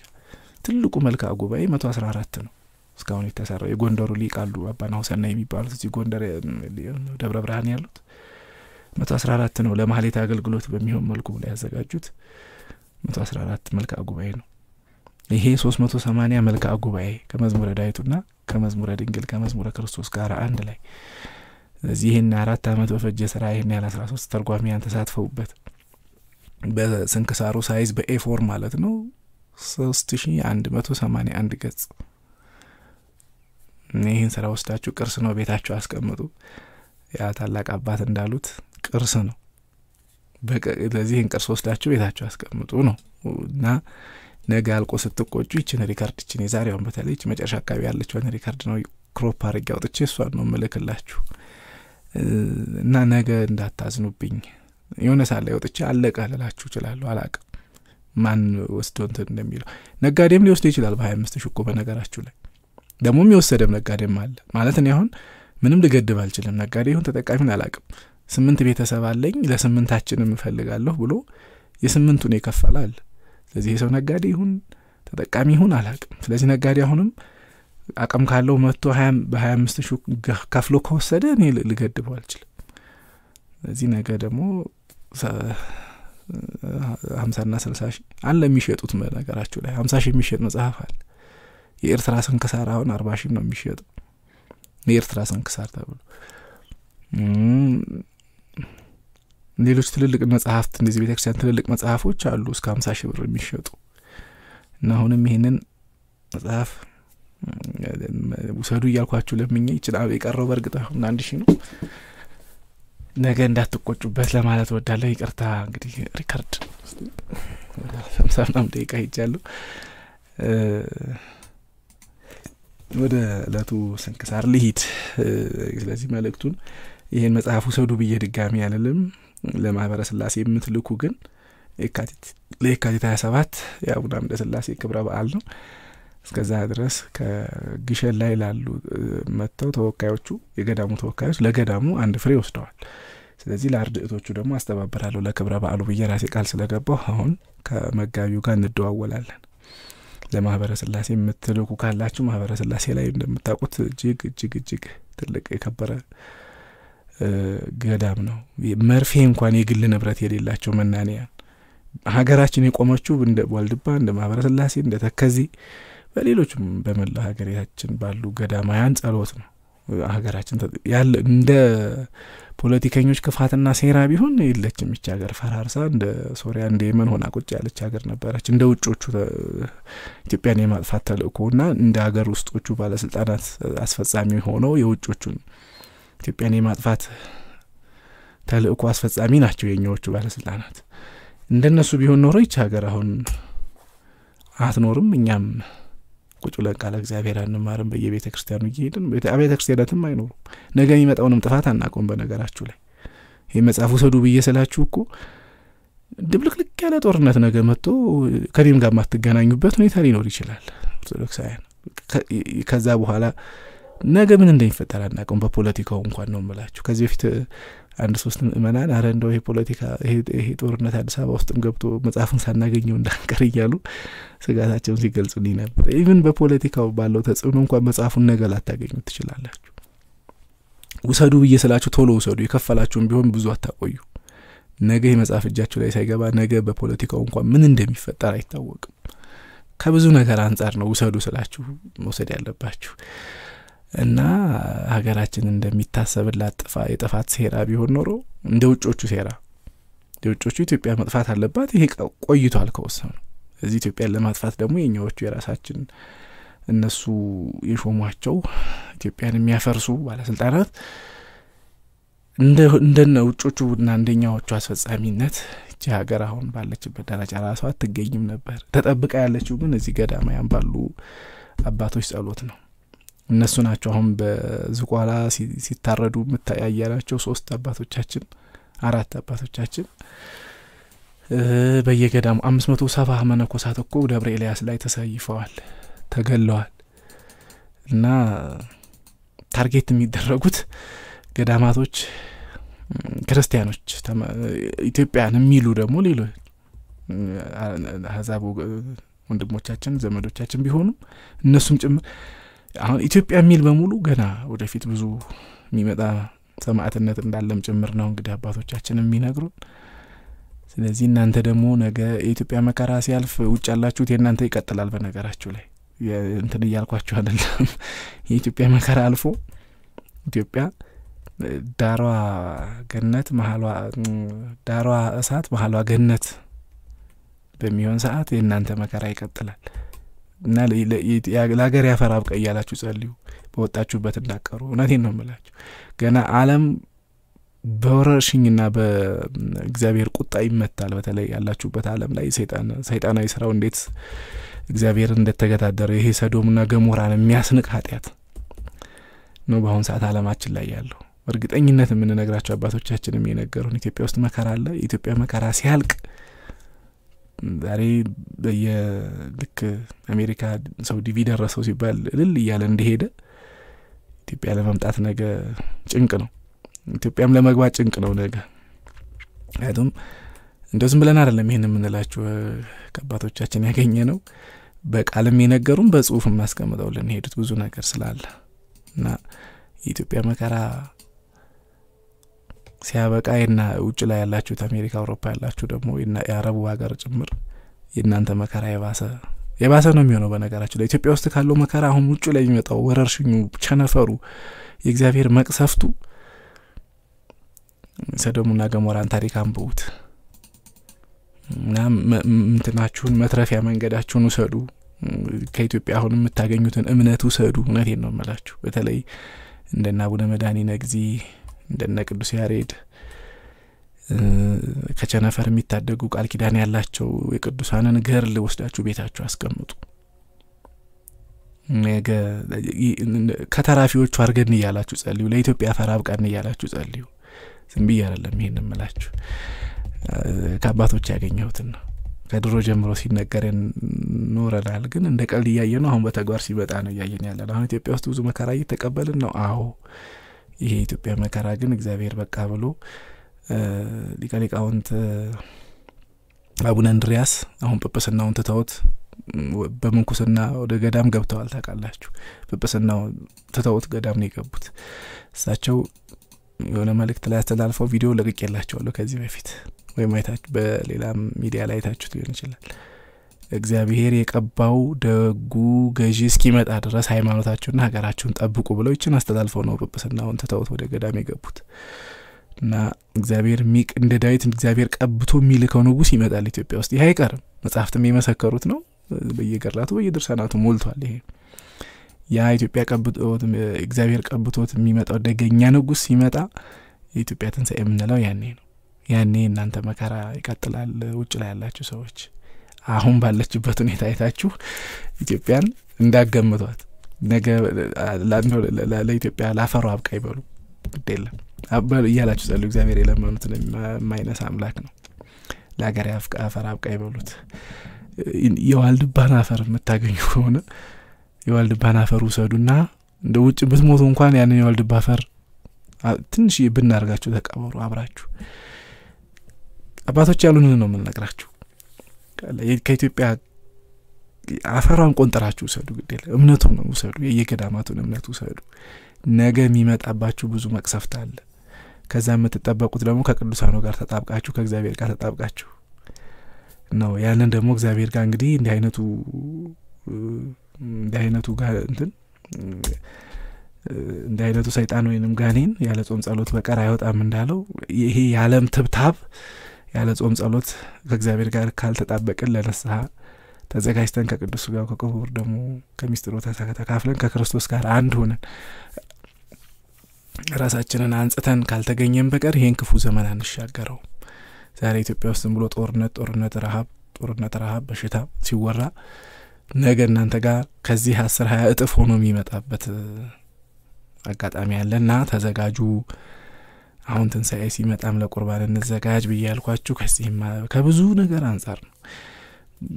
ራሳችንን አንጽተን ለቅዱስ ሥጋው ለክቡር ደግሞ ከበቃን እኮ በህይወት እንኳን ብንኖር እግዚአብሔር የተሻለ ስራ ለዓለማዊው መከራ እንኳን ኃይል፣ ጽኑ፣ ጉልበት ይሆነናል። ብናልፍ ደግሞ የክርስቶስን መንግስት እንወርስበታለን እና አደራችሁን በቃ አሁን ይህን አብይ ጾም ከመግባቱ በፊት ንስሐችንን እንጨርስ። መጋቢት ሁለት ይገባል ጾሙ። ከጾሙ በፊት የግል ጾማችንን ንስሐ አባቶቻችን የሚሰጡን የግል ጾም አለ። እሱ አብይ ጾሙ ላይ ሰዓት ጨምሮ መጥቶ ከሚያስጨንቀን ከአሁኑ ንስሐችን እየጨረስን ለትንሣኤ ለቅዱስ ቁርባን እንዘጋጅ። ይሄ በተደጋጋሚ ሁሌ ስጠቅስላችሁ የነበረ ነው። እንዘጋጅ፣ ሁላችንም ከኔ ጀምሮ ሙሉ ቤተሰቤን ይዤ ነው ለትንሣኤ የምንቆርበው። ስለዚህ ይህንን ታሳቢ እያረጋችሁ ስለ ኢትዮጵያ ጸልዩ፣ ስለ አገልግሎታችን ጸልዩ፣ ስለ ራሳችሁ ጸልዩ። እንዲህ አይነቱን የዓለምን አሸንክታብ አሁን ያለ ጾም ጸሎት የምናልፈው አይደለም። ከእግዚአብሔርም ጋር ተጣብቀን ባለፍ ነው እንኳን ከእግዚአብሔር ርቀን ቀርቶ ኦርቶዶክሳውያን እና አደራችሁን የካቲት ሀያ ሶስት ስመጣ እንግዲህ ያው ገር ለቅዱስ ጊዮርጊስ ነው የምንነጋገረው። ይህን መልእክት ከዚህ በኋላ በዚሁ ላቁመውና ወደ እለቱ እንግዲህ ከመጣሁ አይቀር የዕለቱን በረከት ተካፍዬ ልውጣ። ዛሬ የካቲት አስራ ዘጠኝ ቀደም ብዬ እንዳልኳቸው ሁለት ትልልቅ ቅዱሳን በዓመታዊ በዓላቸው ታስበው ይውላሉ። አንደኛው አባታችን አቡነ መርትያኖስ ዓመታዊ መታሰቢያ በዓላቸው ነው። እኚህ ታላቅ አባት በዝሙት ላለመውደቅና ገሃነመ እሳትን በማሰብ እግራቸውን ጭምር የሚነድ እሳት ውስጥ በመጨመር ዘማዊቷንም ሴት ለንስሐ እና ለጽድቅ ያበቋት አባት ናቸው።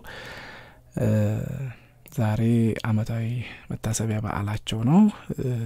ስለዚህ እኚህን አባት ታሪካቸውን በተወሰነ መልኩ እናንሳው፣ መማማሪያ ይሆነናል። ከበረከታቸው እንሳተፋለን።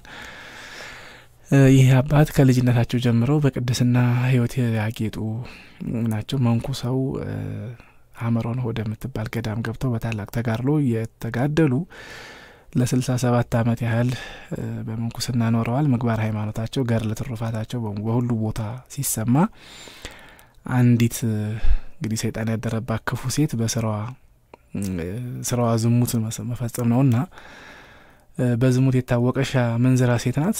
ስለዚህ የአባ መርትያኖስ ቅድስና ሲነገር ስትሰማ መልኳ እጅግ ያማረ ውብ ነበረች ይላታል ስንክሳሩም። ስለዚህ የአባታችንን ጽድቃቸውንና ቅድስናቸውን እንዲሚወራላቸውን ጻድቅ ሰዎች እንዲያመሰግኑታል። እኔ ግን ብሄድ እኔ በዝሙት ጥለዋለሁ ብላ ተዘባበተች። እንዲህ ነው ቃል በቃል ያለቻቸው። እናንተ መርትያኖስን ታመሰግኑታላችሁ፣ ታደንቁታላችሁ። እርሱ የሚኖረው በዱር ነው፣ በጫካ በበረሃ ውስጥ ነው፣ በብህቱና ያለ ነው እና እሱ የሚኖረው በዱር ነው። የሴት ፊት አይቶ አያውቅም። እንደኔ አይነቷን ቆንጆ ቢያይ ግን ድንግልናውን ያፈርሳል። እኔም ሄጄ ድንግልናውን አጥፍቼ ቅድስናውን አረክስበታለሁ ብላ ተዘባብታ ከሰዎች ጋር በዚህ መንገድ ተወራርዳ ቅድስናውን ከሚያውቁት ሰዎች ጋራ ተወራርዳን ሄደችው። እነዚያ የአባታችን የአባ መርትያኖስን የቅድስናቸውን የሚያውቁ ሰዎች ደግሞ አንቺ ይህንን ማድረግ አትችይም ብለው ይነጋገራሉ ከዚች ሴት ጋር። ይችም ሴት በዚህች ዘማ ሴት መካከል ክርክር ሆነ። በዚህ ጊዜ አባ መርትያኖስን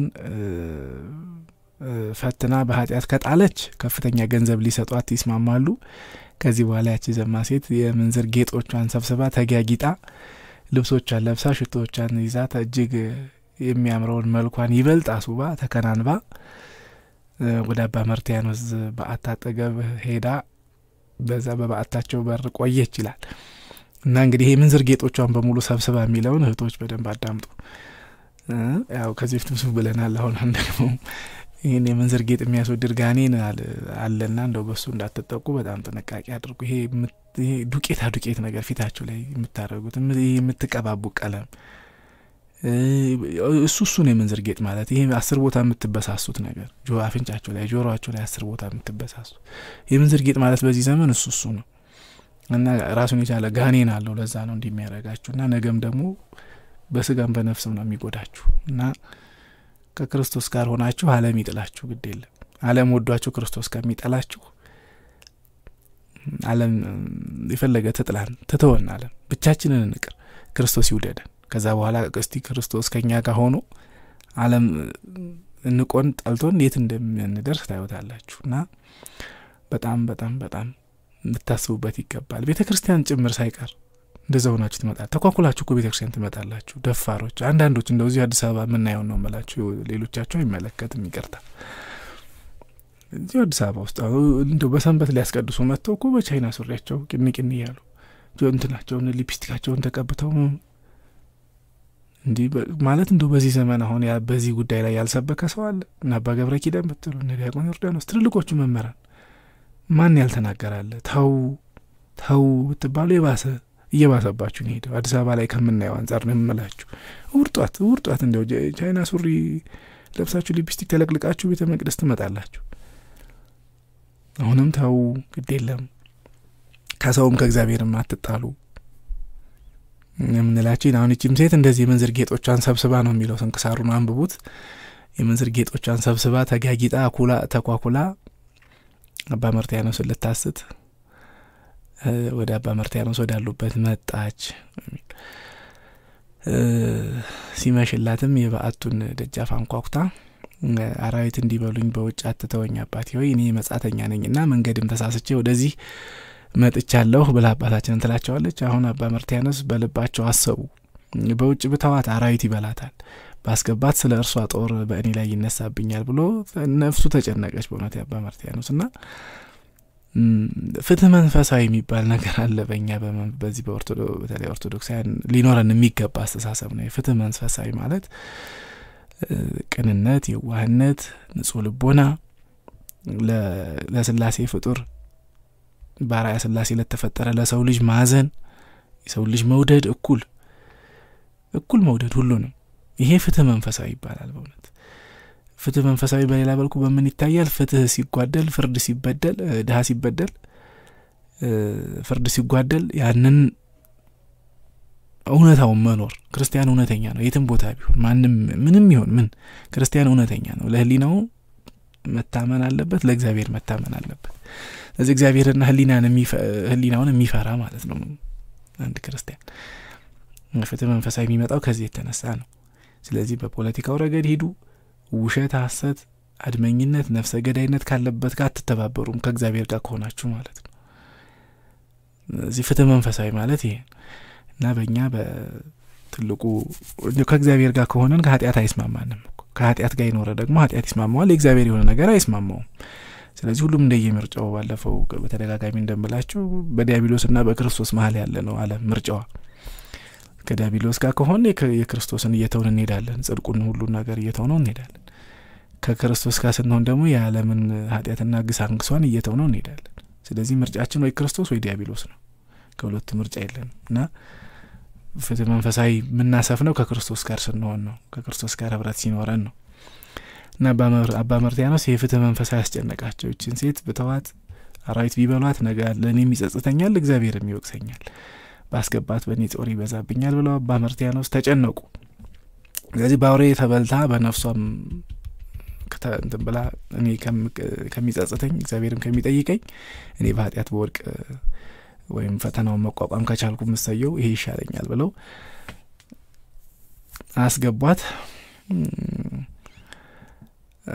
በአታቸው ካስገቧት በኋላ እሳቸው ትተዋት እሷም ፈቀቅ ብለው ለብቻቸው ቁጭ አሉ። ከዚህ በኋላ እሷም እንግዲህ የመጣችበት እኩይ ዓላማ ነውና አብሯት እንዲተኛ ለማድረግ ስትል ከዚህ ማንም አያየንም በማለት የዝሙት ሀሳብ አቀረበችላቸው። አባ መርትያኖስም የሰይጣን ማጥመጃው እንደሆነች አውቀው ትንሽ ታገሽኝ ብለው እንግዲህ እሷ እንተኛ ነው ያለችው። እዚህ ማንም የለም፣ ማንም ላይን አይችልም። እዛ ዋሻ ውስጥ ሁለቱ ብቻ ናቸው። ሌሊት ነው።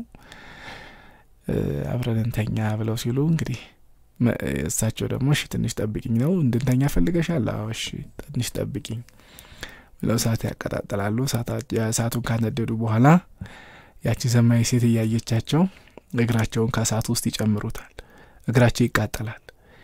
እግራቸው አሁን ይችን ሴት ሊያስተምሩ ነው እኛ አባት ይህን የሚያደርጉት። እንግዲህ እሳት ውስጥ ሰውነትን ከቶ እንዲቃጠል ማድረግ ማለት ስቃዩ ከባድ ነው። በነገራቸው ላይ በህሊናቸው አስቡት እና ምን ያህል ስቃይ እንዳለው እግር ከቶ ማንደድ ማለት ቀላል አይደለም። የሚነድ እሳት ውስጥ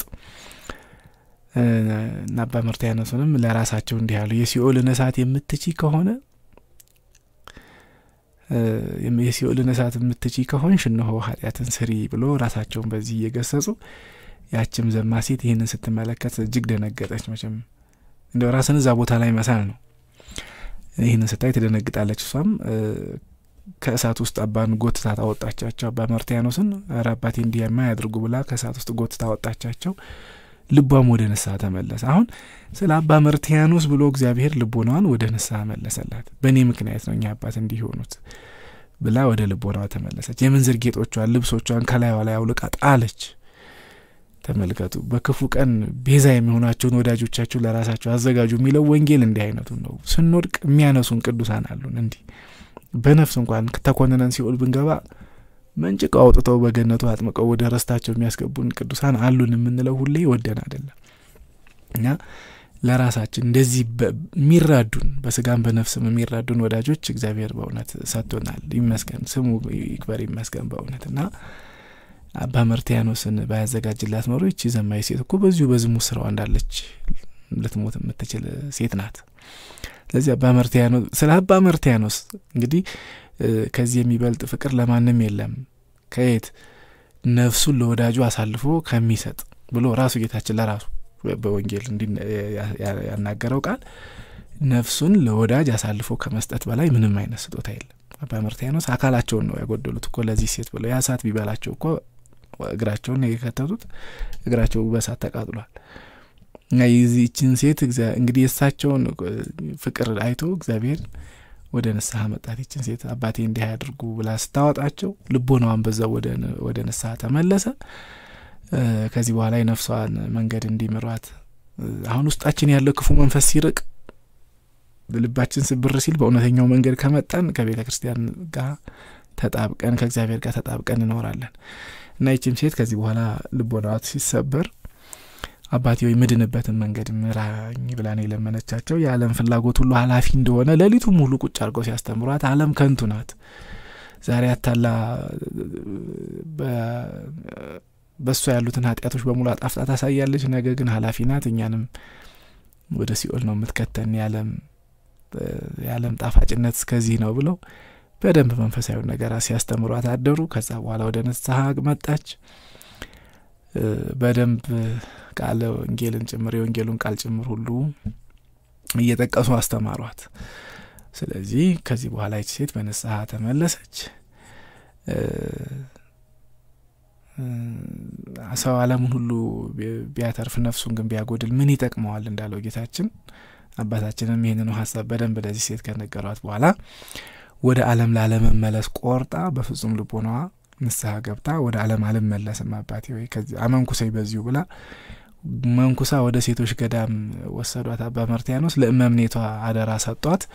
ጸጉሯን ተላጭታ ለእመምኔቷ ተሰጠች። በዚህ በኋላ በታላቅ ገርል የምትኖር ሆነች።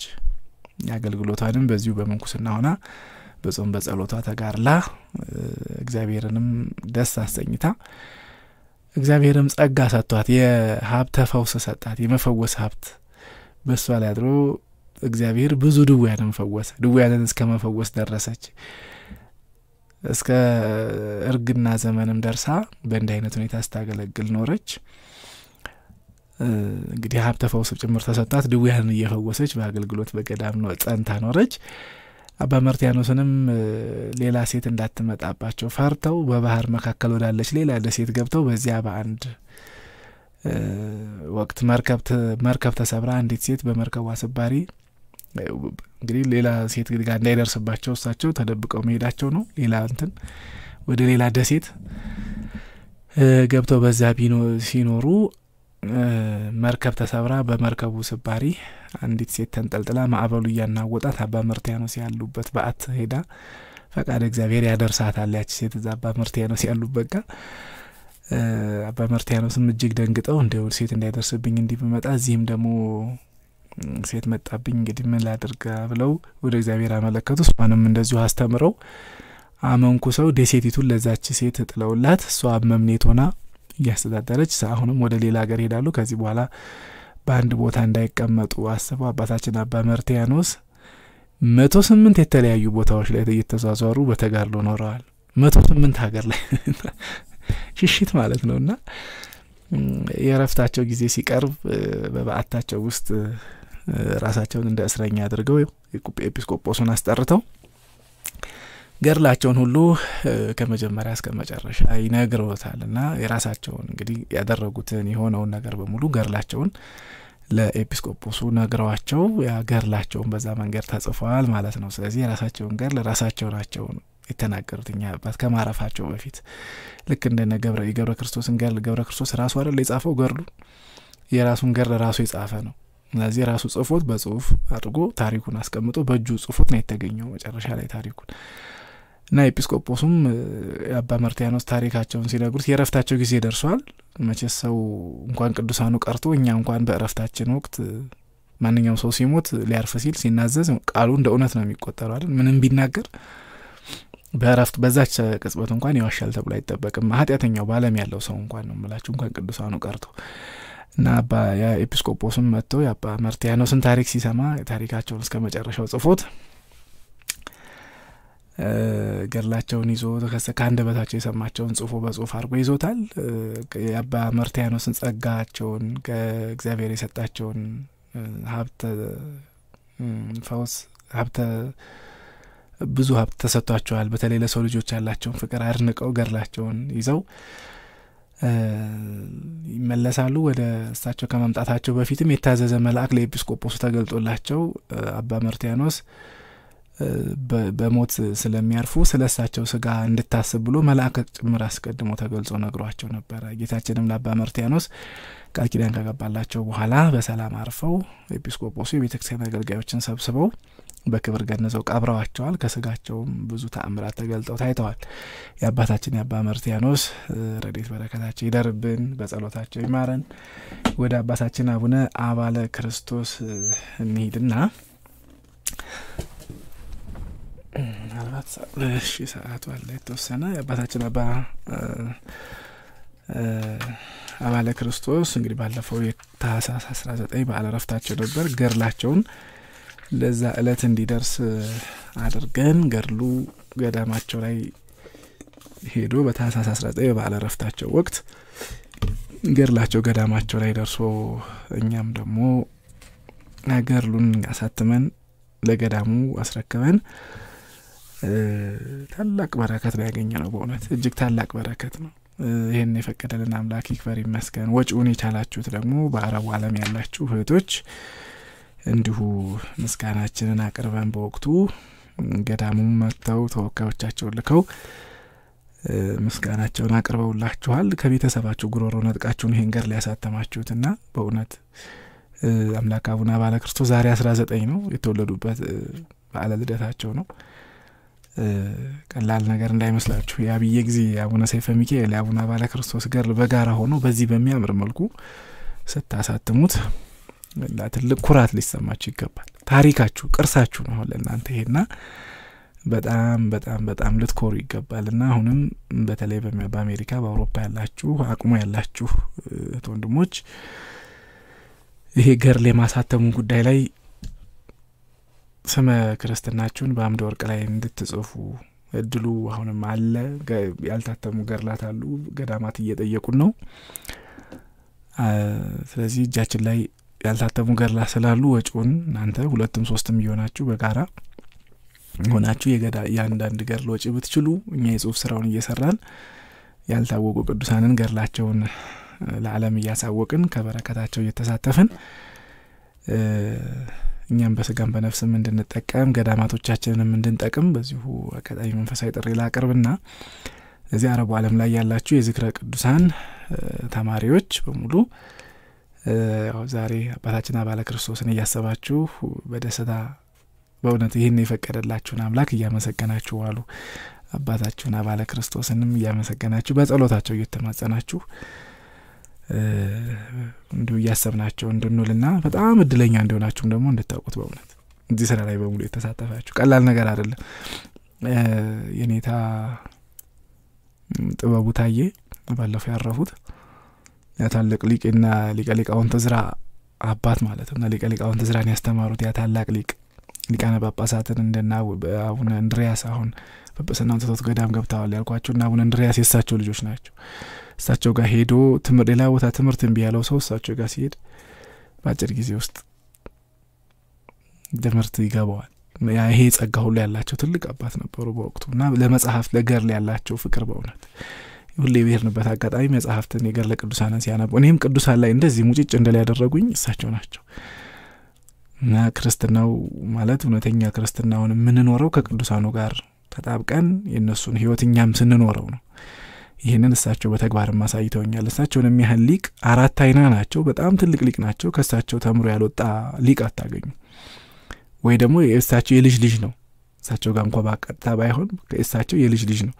አሁን ሊቀ ሊቃውንት ዕዝራን እሳቸው አስተማሩ። የኔታ ጥበቡ አስተማሯቸው። አሁን ላሉበት አበቋቸው።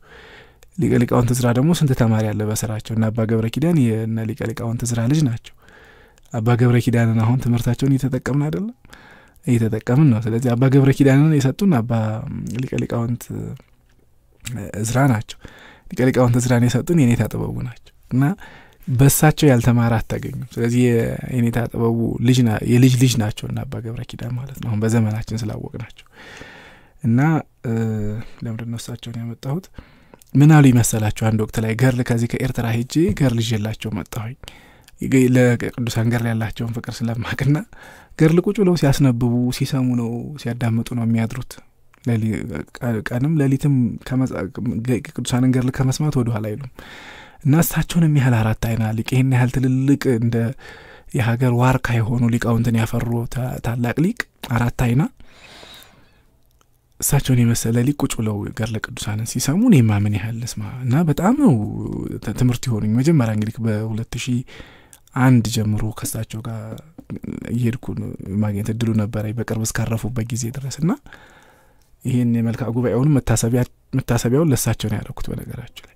ምክንያቱም ገድለ ቅዱሳን ላይ በጣም ትኩረት እንዲያደርግ ያገዙኝ እሳቸው ናቸው። ከዛ ቀጥሎ ዲያቆን ዮርዳኖስ። እንዲህ ቅዱሳን ላይ ብዙ ትኩረት እንዳደርግ ክርስትናውን በትክክል በዛ መንገድ እንድንረዳው ስላደረጉን credit ኡን ግዴታ መስጠት አለብን ለሳቸው እና ምን አሉ ይመሰላቸውን ወቅት ላይ ከኤርትራ የመጣውን ገድል የነዚህ በግዕዝና በትግርኛ የታተሙ ኤርትራ ውስጥ ያሉ ብዙ ትልልቅ ቅዱሳን አሉ ወደ ሰላሳ አምስት የሚጠጉ ከእነሱ ውስጥ የማይገኙትን እዛም ራሱ ሀገሩ ላይ አርቀዋል ከግለሰቦች ላይ ነው ገዝቼ ያመጣሁትና ለእሳቸውም ገዝቼ ሶስት ገድል ወስጄ ሰጠኋቸው። በጣም ደስ አላቸው። እንዲህ የሚባል ጻድቅ አሁን የነ አቡነ አብራኒዎስ ነበር አንደኛው። የአቡነ አብራኒዎስ ገር እስራኤል ያለ አንድ ወንድም ነው የላከልኝ የነበረው። አንዱን ደግሞ እዛው ኤርትራ ውስጥ ከአንድ ምእመን እጅ ገዛሁት።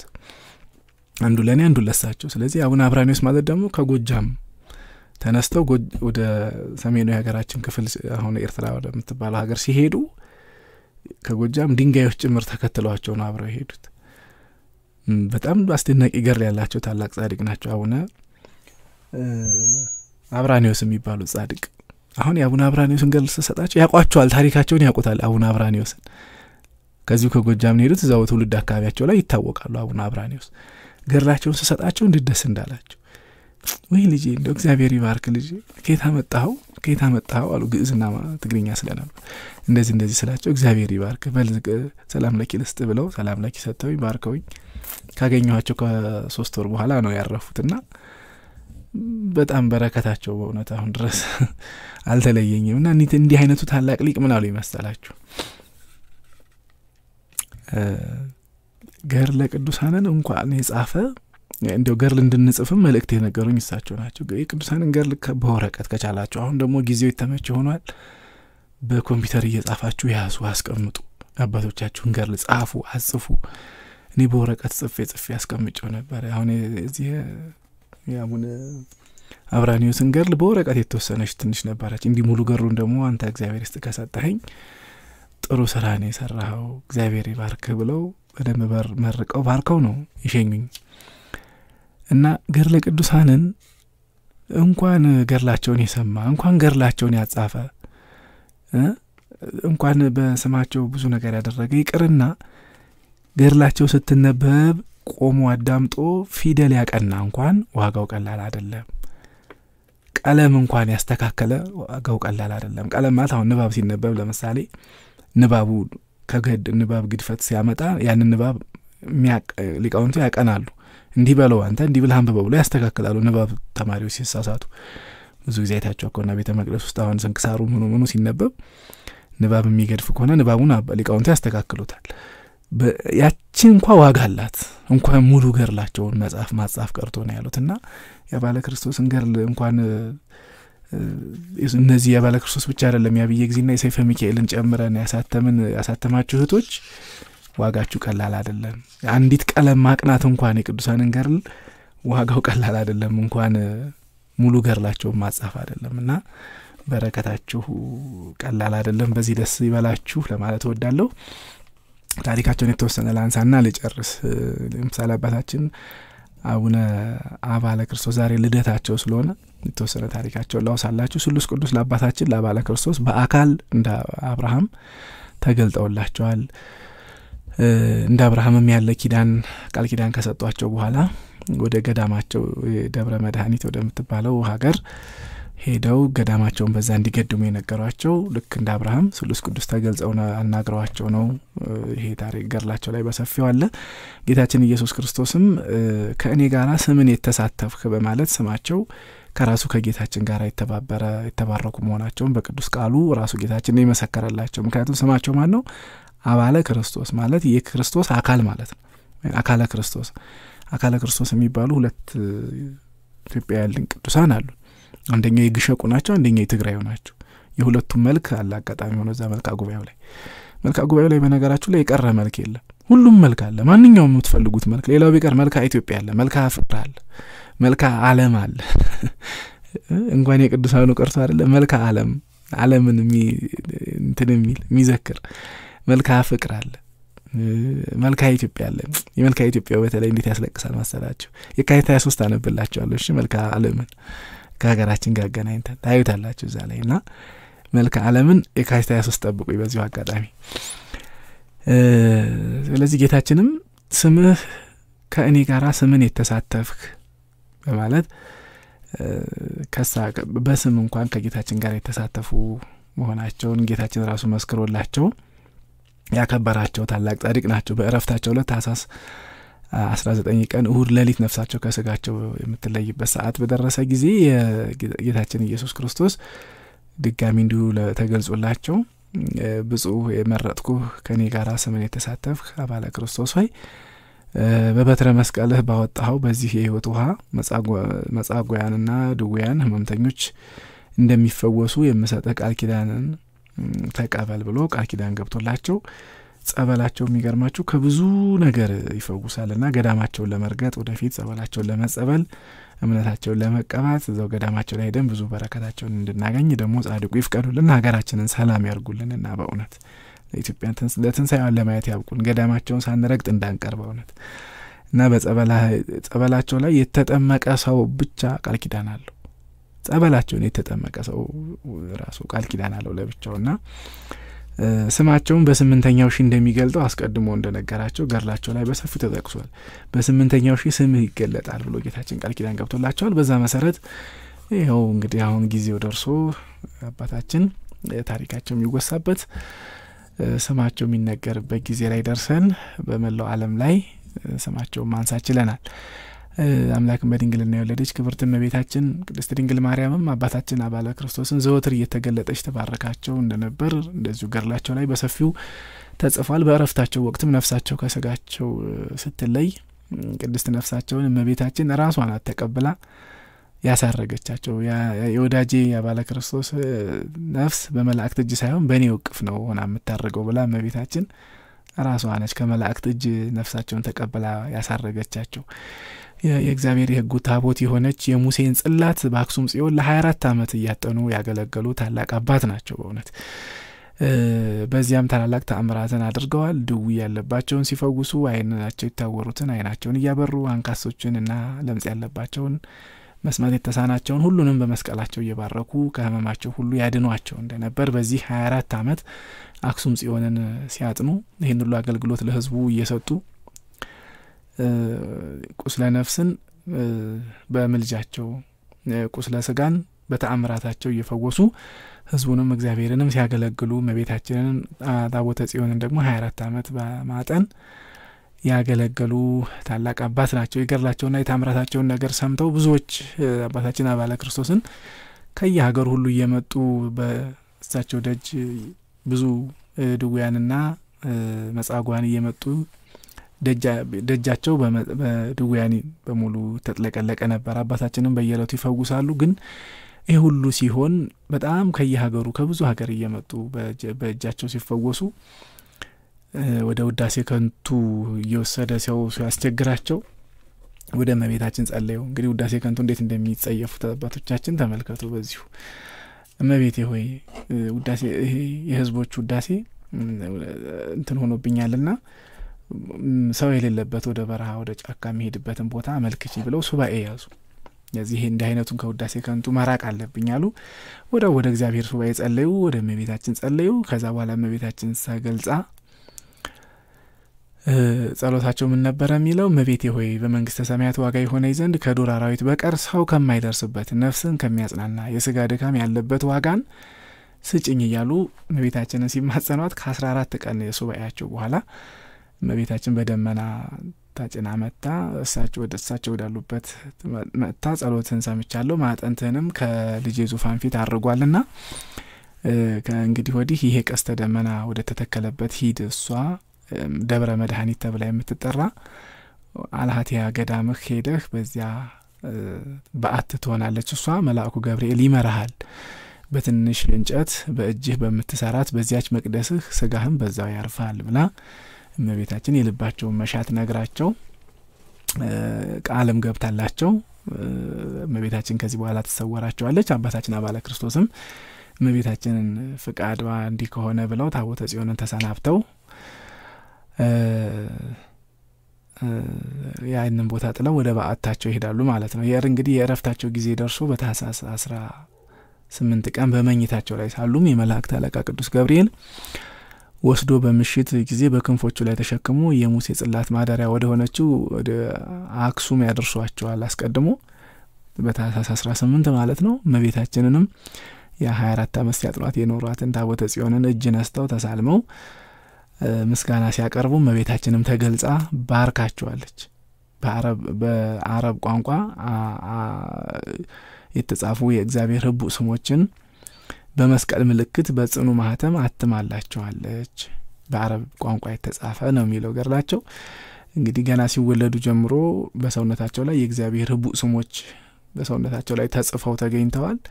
ይሄ የእግዚአብሔር ድንቅ ስራ ነው። ገና ሲወለዱ ጀምሮ ሰውነታቸው ላይ በዕብራይስጥ ቋንቋ በሶስት የተለያዩ ቋንቋዎች የእግዚአብሔር ሕቡዕ ስሞች ተጽፈውባቸውን የተገኙት አሁንም እመቤታችን ደግሞ በአረብኛ ቋንቋ የተለያዩ ቃላት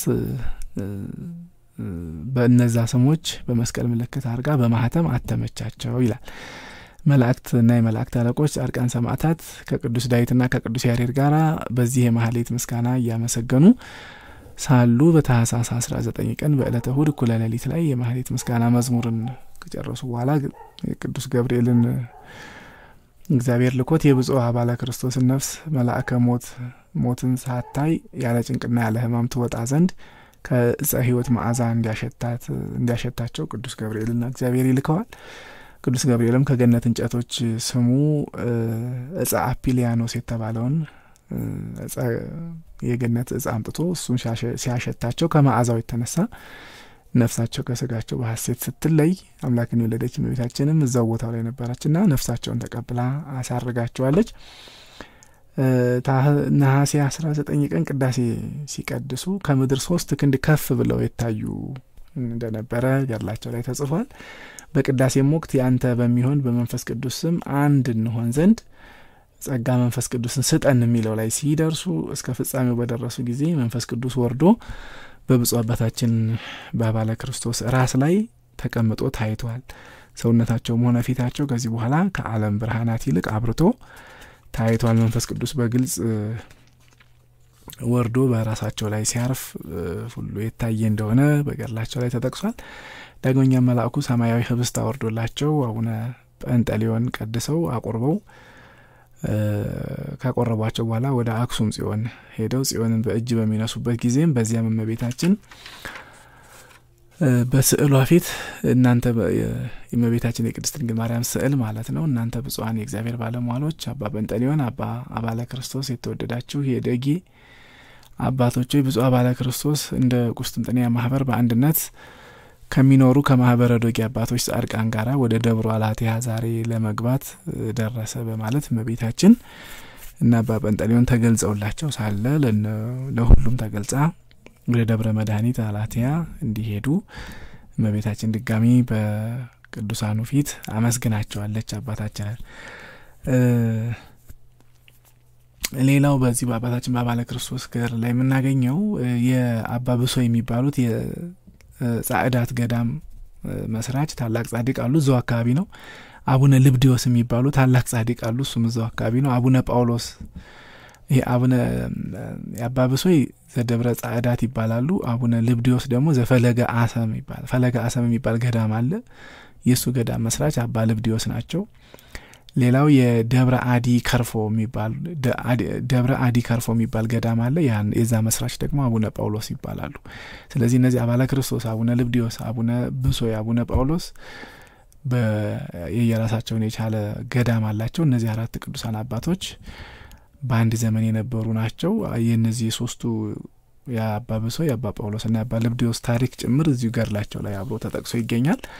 ገድላቸው ላይ ታገኙታላቸው። አባታችን አባለ ክርስቶስ የጻድቁ አባታችን የአባ ብሶይ ቤተ ክርስቲያን ወደ ሆነችው ወደ ደብረ ጻዕዳትም ሄደው በዚያም በእመቤታችን ስም በጣም ብዙ ተአምራትን አድርገዋል። የሙሴ ጽላት ታቦተ ጽዮን ከዮዲት ጉዲትና ከግራኝ አህመድ ወረራ በአክሱም ጽዮን ንቡረ እድ ተሸሽጋ ወዳለችበት ወደዚች ወደ አባ ብሶይ ገዳም ወደ ደብረ ጻዕዳት ሁሉ ገብተው ከመቤታችን ጋር ቃል በቃል እንደተነጋገሩ በዚያው በገድላቸው ላይ በሰፊ ተጠቅሶ ይገኛል። የካቲት 19 ቀን በአባታችን በአባ ብሶይ ደብር በደብረ ጻዕዳት እንደዚሁ እንደ ዛሬዋ ባለች ዕለት የካቲት 19 ቀን ብዙ ተአምራት አድርገዋል አባታችን አባ ባለ ክርስቶስ። አባታችን አባለ ክርስቶስ ሌላው ገብረ ክርስቶስ ይሄ ዳግናው እንደዚሁ እሱም እዛው አንድ አካባቢ ነው ገዳማቸው ያለው። ይሄ የዳግናው ገብረ ክርስቶስ ጥር ሁለት ነው ረፍታቸው። ባለ አስራ ሁለት ቤተ መቅደስ ነው ለየት የሚያደርገው በእውነት እና እግዚአብሔር ከፈቀደ እንግዲህ እነዚህንም አባቶች ገድል የምናገኝበት ሁኔታ ይኖራል ወደፊት። ይሄ የገብረ ክርስቶስ የዳግናው የንጉስ ልጅ ናቸው። እንደ ገብረ ክርስቶስ መናኔ መንግስት ብእሲት ናቸው። ቤተ መቅደሳቸው ባለ አስራ ሁለት ቤተ መቅደስ እጅግ አስደናቂ ቤተ መቅደስ ነው እና ጥር ሁለት ረፍታቸው ነው። ከዚህ ከገብረ ክርስቶስ ዘዳግና ከሚባሉት ታላቅ ኢትዮጵያዊ ጻድቅ ጋርም የተገናኘ ሰፊ ታሪክ አላቸው። ያው ታሪካቸው እዛው ገድላቸው ላይ ይገኛል። ሌላ አባታችን አባለ ክርስቶስ ወደዚህ ወደ ገብረ ክርስቶስ ዘዳግና ገዳም ሲሄዱ በመንገድ ላይ ብዙ ተአምራትን አድርገዋል። ባህር ከፍለው ተሻግረዋል። አውሎ ንፋስን አጋንንት አውሎ ንፋስ አስነስተውባቸው እነዚህን የዳግናውን አቡነ ገብረ ክርስቶስና አባታችን አባለ ክርስቶስን ሰይጣናት ፈተና አምጥተውባቸው ነበር። እነዚህ ሁለቱ ቅዱሳን ግን ምህላ አድርሰው አጋንንት ያስነሱትን አውሎ ንፋስ ወደው ጸጥ አድርገው እነዛን አጋንንትም በመስቀላቸው ባርከው እንደ አቧራ በነው እንደ ጢስ ተነው እንዲጠፉ አድርገዋቸዋል። እና የዳግና ገዳም ጻድቃንም ይህንን አባታችን አባለ ክርስቶስና አባታችን አቡነ ገብረ ክርስቶስ ያደረጉትን ተአምር አይተው አድንቀው እግዚአብሔርን አመስግነዋል። በወቅቱ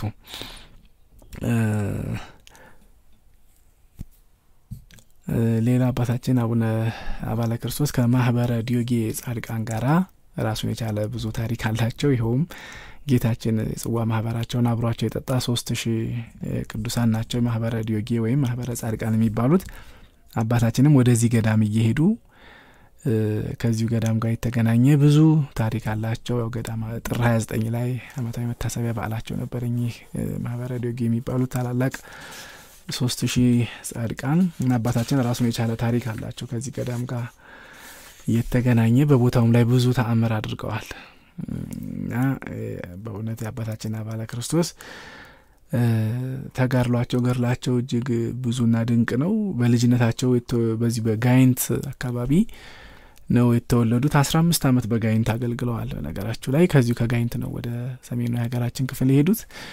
በአስራ አምስት አመት ከልጅነታቸው ጀምሮ በጋይንት ካደጉ በኋላ ከዛ ወደ አባ ጰንጠሌዎን ገዳም ሄደው በዚያ መንኩሰው በአባ ጰንጠሌዎን ገዳም አስራ ሰባት አመት ከኖሩ በኋላ ከዛ በኋላ ነው የሙሴን ታቦተ ሕግ ጽላተ ሙሴን ሀያ አራት አመት እያጠኑ የኖሩት።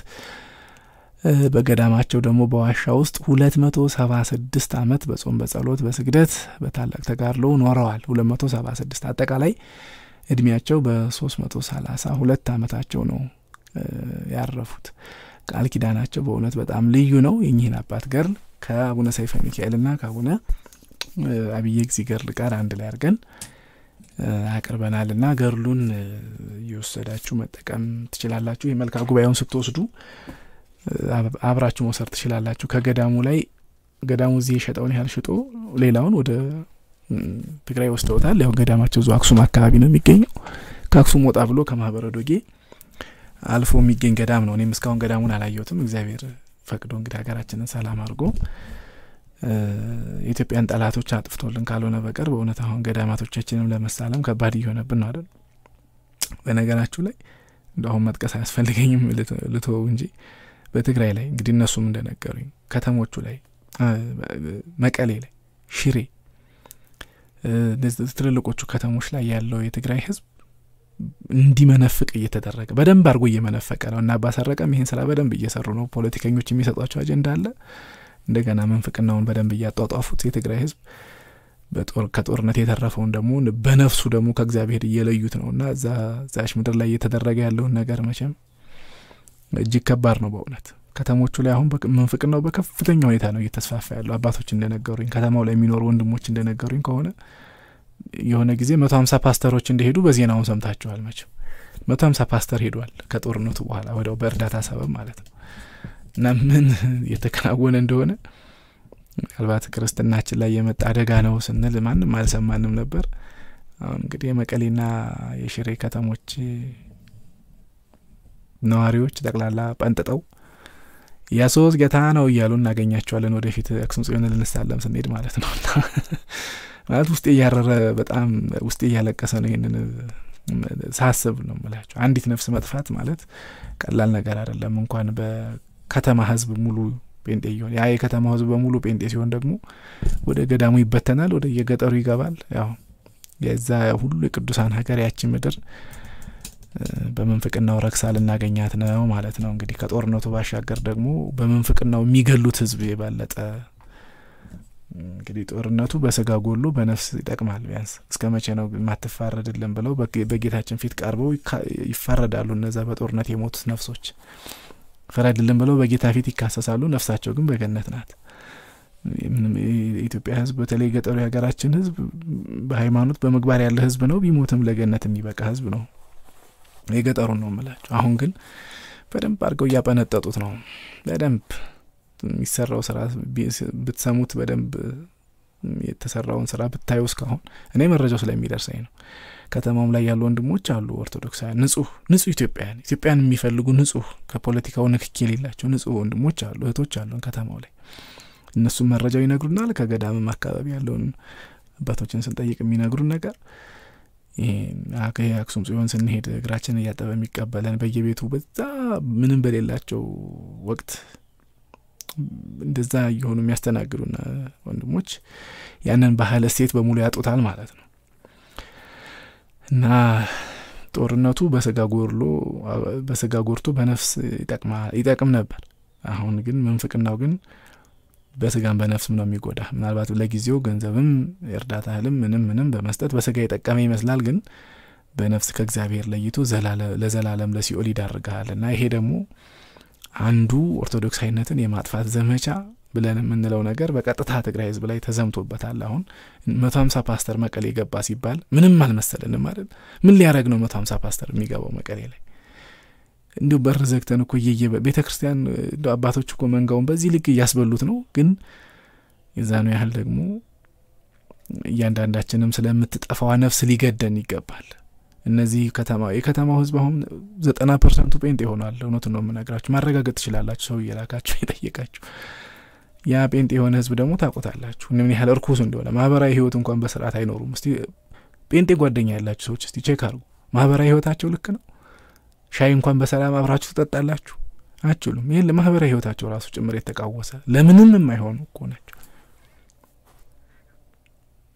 ለግለ በጣም ራስ ወዳዶች ተውትና እንደው ይሄ መንፍቅና ያስተሳሰባቸውን ተውትና personality ያቸው ራሱ ይሄ በጣም የተበላሸ personality እኮ ነው ያላቸው ምክንያቱም ውስጣቸው ያለው እርኩስ መንፈስም ያን እንዲያደርጉ ስለሚያስገድዳቸው። እና እንዲህ አይነቱ ስራ እዛ ምድር ላይ የተሰራ እኛ ከዛ የሚመጡ ገድላት አሉ። እናሳትምላቸዋለን። ግን ያው አማርኛ ቋንቋን አንፈልግም እያሉ ስለሆነ እሱ የት እንደሚያደርሳቸው ራሳቸው ያዩታል። ችግር የለውም። ግን በአማርኛ አንፈልግም አማርኛን አንፈልግም ኢትዮጵያን ራሳቸውንም ደግሞ እንደ ሀገር ነው እያንቀሳቀሱ ያሉት እንጂ እንደ አንድ ኢትዮጵያ ክፍል አይደለም እንደ አንድ ክፍል ሀገር አይደለም። ስለዚህ እኛ ሀገር ነን ነው እያሉ ያሉት። ቢመቻቸው ፖለቲከኞቹ በሚሏቸው መሰረት ይህንን የጎንደርና የወሎ ሰሜናዊውን ክፍል ይዘው ገንጥለው ሄደው እንደ ኤርትራ አሁን ትግራይ የምትባል ሀገር መመስረት ነው አላማቸው። ያው እንግዲህ አብይ አህመድ ሄዶ አድቅቆ አድቅቆ በጦርነቱ ሽባ አድርጎ ወጣቱንም አኮላሽቶ በክራንችና በዊልቸር የሚሄድ አድርጎታል ከሞት የተረፈውን አቅም ስላጣቸው ሽባ ሆኖ ቁጭ ስላሉ እንጂ ይህን ከማድረግ ይህንን የአማራው መሬት ወስዶ የራሳቸውን ሀገር ገንጥለው ለመኖር ነው ሀሳባቸው። በፖለቲካ አሁንም ቢሆን ህወሀት ጠፍሮ ይዞ ህዝቡን በዚህ ሰቆቃ ውስጥ ነው ያለው። ህዝቡ ግን በዚህ ሁሉ መከራ ሆኖ ያ ሁሉ መከራ ደግሞ ደርሶበት ያው በጦርነቱ ያን ልጆቹን ገብሮ በረሀብ በበሽታ ሲሰቃይ ኖሮ አሁን ደግሞ በመንፍቅና በነፍስ እየገደሉት ነው ያሉት የከተማው ህዝብ ዘጠና percent ጴንጤ ሆኗል ባለኝ መረጃ ማረጋገጥ ትችላላችሁ ይህንን እና በብዙ መልኩ ነው በነፍስም በስጋም እየተጎዳን ያለ ነው ኦርቶዶክስ ያለ ማለት ነው። ለማንኛውም ፖለቲካው ጉዳይ ላይ አይመለከተኝም፣ ግን በመንፈሳዊ ጉዳይ ላይ የሚጠፉት ነፍሶች ያሳስበኛል።